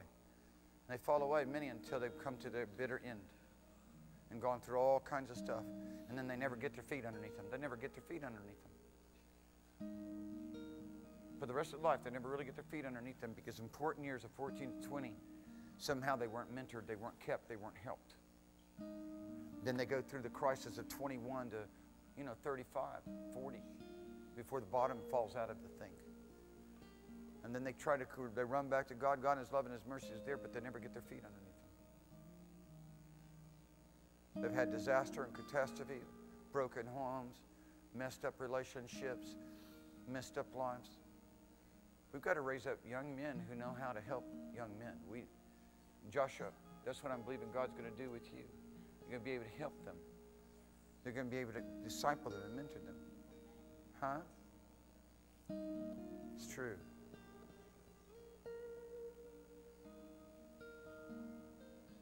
And some of you that don't know what to do, maybe some of you like Brad one sitting back there, others, you know, you can be a great help in mentoring the young men. It means it's going to cost you your time. But you know what? The reality of it is, it is, it is such a pleasure to live every day for the kingdom. To lose my life in the kingdom is like not an obligation. People say, well, I don't have time, it's an obligation. You, because you're busy with your own life in this world. You're busy with your own life in this world. If doing the things of the kingdom and giving your time to yourself to the kingdom, now some of you, you have children to raise and you need to, and you understand to raise them. You need to grab a hold of them and begin to make disciples out of them. It's no more important disciple than your children. But there's others of you that are young men that don't have children, or you're young men that children, or that you're older men, but you still got a youthful disposition like Brad one back there. huh? They need more things to do. And Jason, well, you got two little ones, but you know, they're being discipled by mom right now. In the, the very near future, you're going to have to get your whole attention into them, your whole heart into them. Huh? And others, Adam, others of you. You need to be, you need to be around. Help the young men. It's a crisis. Tis a crisis.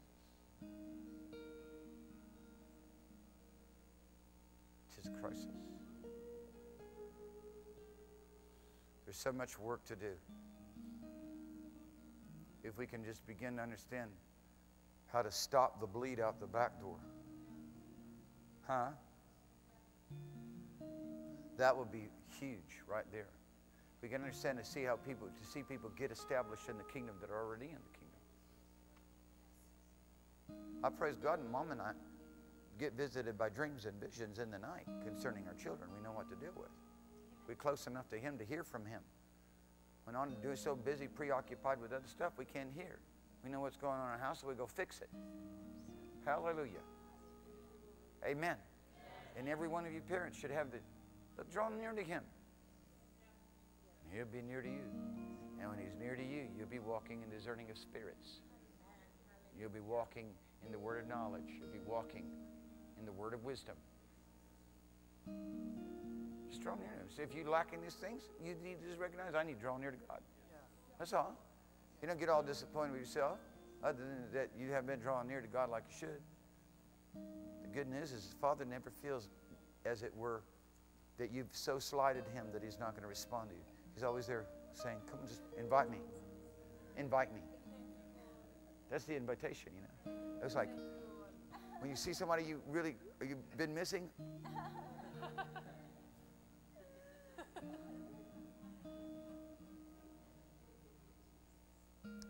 See, the Bible basically shows us the culture of the kingdom of God. It's not the Western culture.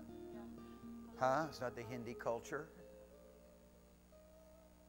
which is the ancient Aryan culture mixed with a few other things. Or Chinese culture or jungle culture, kingdom culture. We want to just conform ourselves to the kingdom. I want to look like the I want to look like the kingdom. I want to look like Jesus. I want to look like the family of God. I don't want I don't want to be, I don't want to be mistaken for a citizen of hell. Uh, child of the devil. Huh? Someone that traffics demon spirits. Are you with me?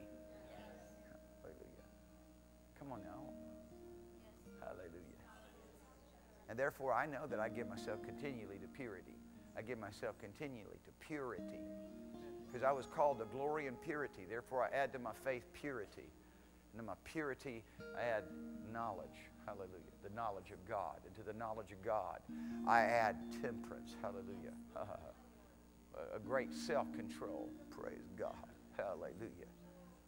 And godliness and brotherly kindness because there's an entrance made to such people. There's an entrance opened up to such people who do such things. Hallelujah. So I just, I want to do, I do this, I'm happy to do this all day for you to get you activated to doing this all day. Every day. Get you baptized in the Word and in the Spirit. Get you baptized in the things of the Spirit. You get broken before the Lord, you stay broken. I know how to be kept by the power of God. Walk in humility and be clothed with love. You stay broken. What is humility? It's not some demeanor that you interact with with other people. It's how you interact with God. That's humility. It's your willingness to obey God when He speaks. And your desire and passion to please Him at all times. That's humility. That's true humility. All the rest of the stuff is a bunch of whatever. Huh? Human stuff. Thank you, Jesus. Thank you, Lord Jesus. And you too. And you too. Throw yourself into the kingdom. If, doing, if being involved in church meetings is a, is, is a burden to you, you not, there's something wrong with your heart. And don't say you're seeking first the kingdom. Because that seek word means that you desire, you have a great zeal for it, great love, and that's your passion. Huh? Oh, it's hard for me to make church. Oh, and you're seeking first the kingdom of God. Okay. Oh, it's just really a burden for me to have to be involved in something else at the meeting. Now, get yourself all in in the kingdom. Amen. Hallelujah. I tell you right now, my goodness gracious, I'd rather be a doorkeeper in the house of the Lord than to dwell in the tents of the wicked. In the palaces of the wicked. Be bathed in their riches and their stuff. And I pray that you have such a heart, because that's the heart of the Father. That's the heart of psalmist. Hallelujah. The Word of God describes to me the state of my heart, or what the state of my heart should be. And if the state of my heart doesn't match up with the Word of God, I got some problems. I'm going to get right, because get right's always available. Amen. Amen. Hallelujah. Thank you, Father, for the anointing. I see great things. I see great things. I see great. I see great things. I see great things. I see great and mighty things. Yes. Yeah. Yeah. Yeah. Yes. Yep.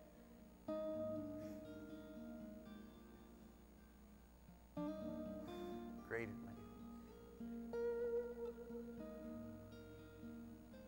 Watch what the Lord would do. He'll bring you to a place, if you're willing, to become so needy for the things that He has for us, to become so broken and contrite to Him. Become so broken. Become so broken. We quit making excuses and we become so broken. God, what? Why? And the broken and the contrite He will not refuse. And the broken and contrite He will not refuse. He brings us to a place where we become so broken. God, why don't I have these things? Why aren't this happening life? So broken. And the broken and contrite He will not refuse. Some people just try to, they just push it off. They just make it normalized. They normalize it. Just let, just let it be.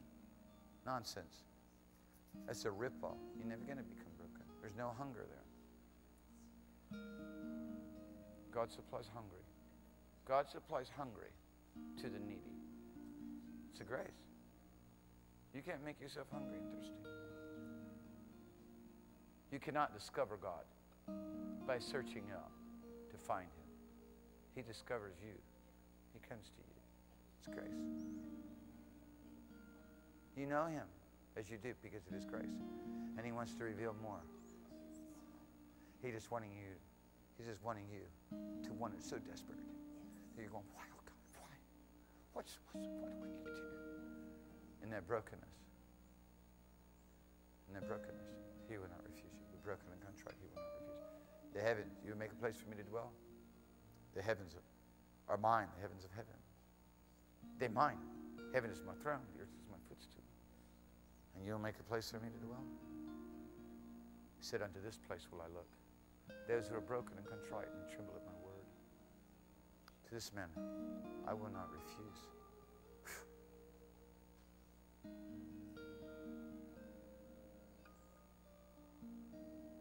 Do not ever be complacent about the things that God's word described. Do never shrug your shoulders and act like somehow it was not God's will to provide. No, because all you did was make him a liar and unfaithful and justify your evil state. All you did was make him unfaithful and a liar and justify your complacency.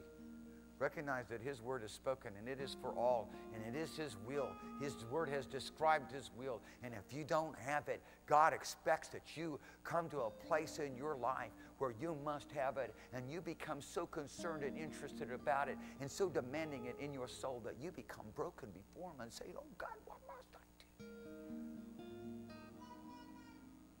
If there's anything that's got to happen, is there's got to be a church raised up where the fire of God burns in the midst of it, of people who will cry out to God and give Him no rest day or night until He comes with His glorious salvation to touch a nation. People just want to sit at home and leave the job of work for some few to do. The many want to wait for the few to do it. It's time for the many now to do what before only the few were, willing. It's time. It's time. It's time to set our heart and our affections on the things that belong to signs and wonders and miracles and the things of the ministry of Jesus Christ, and then all that which is earthly and all that which overwhelms men through the powers of darkness will no longer be relevant, no longer have a power. It'll lose its ability. Because we're caught away in another purpose and another desire and another passion.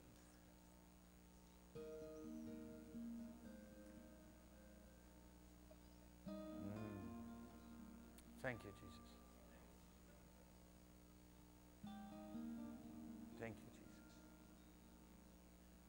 Thank you, Lord Jesus.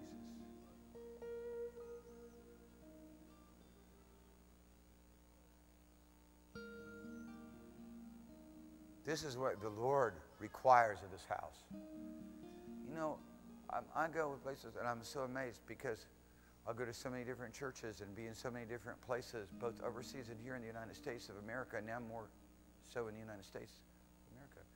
And the things that the Lord allows me to say, are very, very different. It's very different. It's more just on the level of an invitation to come. God loves you, cares for you, invitation to come. And I, I, it's not because I'm holding myself back, because I'm in total abandonment of these things. What God says in this house is what is required of this house. People come in here and they sit around and they act like that they can judge or they like or dislike it. You have no right to do that, and one day you will find out. You cannot try to stop the Word of God that He demands goes forth in His place because you measure it based upon what you think ought to be taught or said on some relativism. Now, you don't know the mind of Christ. You don't know the will of God. You have to just understand Father declares what it is that He has willed and what He's purposed. And there's people like me that walk under divine restraint. And the, my responsibility to deliver you the word, your responsibility is to receive the word. Now, the word that I deliver unto you, of course, I'm also responsible to be first partaker of it and doing it and be doing it. And I'm not asking anybody to do what I haven't done. Everybody's ever worked with me. I never seen people out to work. I go, I go with the same, I go with the same axe head. I go with the same saw and the same, same shovel. Eh? Yes. I do. I stand around and watch everybody else do it. I get muddy too.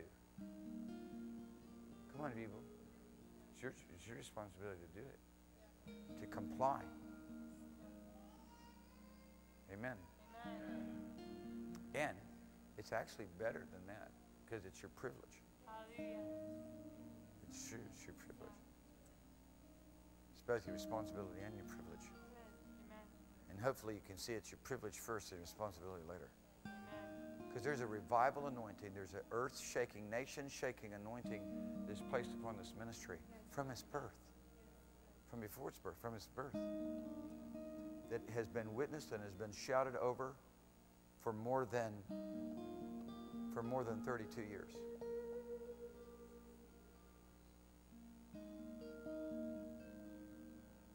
True, closer to 34 years. Yeah.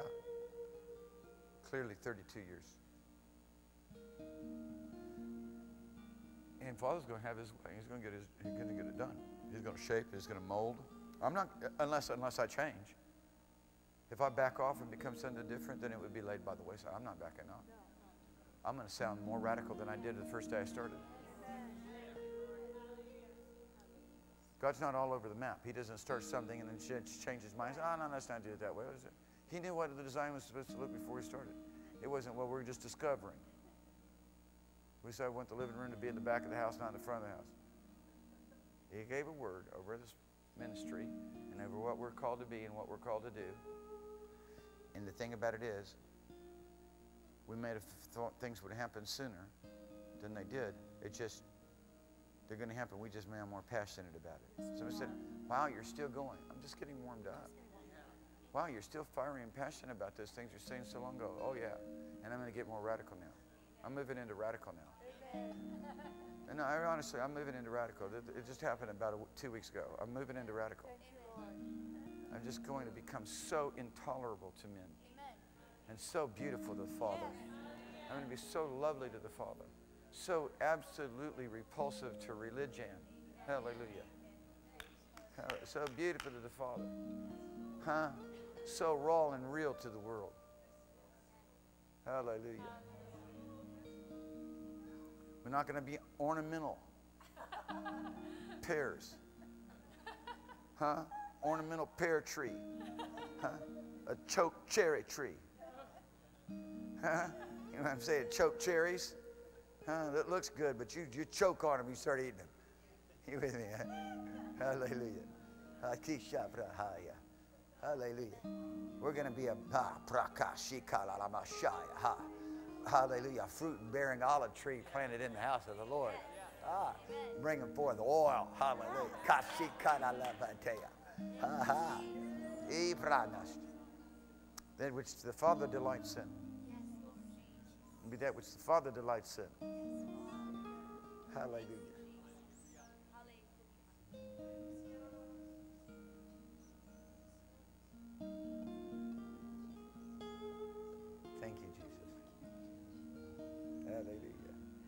I got a wife just like Sarah. I got a wife just like Abraham had. I figure I can go ahead and do that and more. Abraham wasn't baptized in the Holy Ghost. You got a wife like Sarah. My goodness, you're supposed to be able to be an Abraham. Are you with me? God's given us all the power of the Holy Ghost to be able to go even beyond that. Come on, women. Yeah.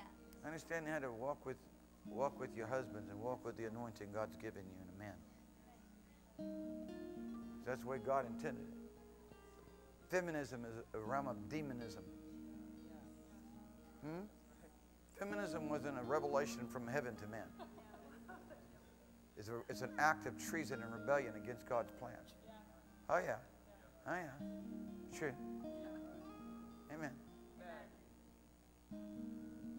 And it was birthed right out of unholy immorality on the level of Romans chapter 1, beginning verse about 20. But I'm certain that such things aren't any, in anybody here. Well, I pray that you walk around in the presence of the Lord till church time. Hallelujah. Then come bring the offering. Because God is a spirit.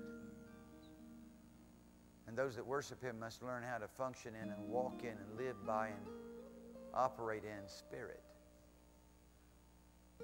Amen. I'm living in the Holy Ghost realm. Amen.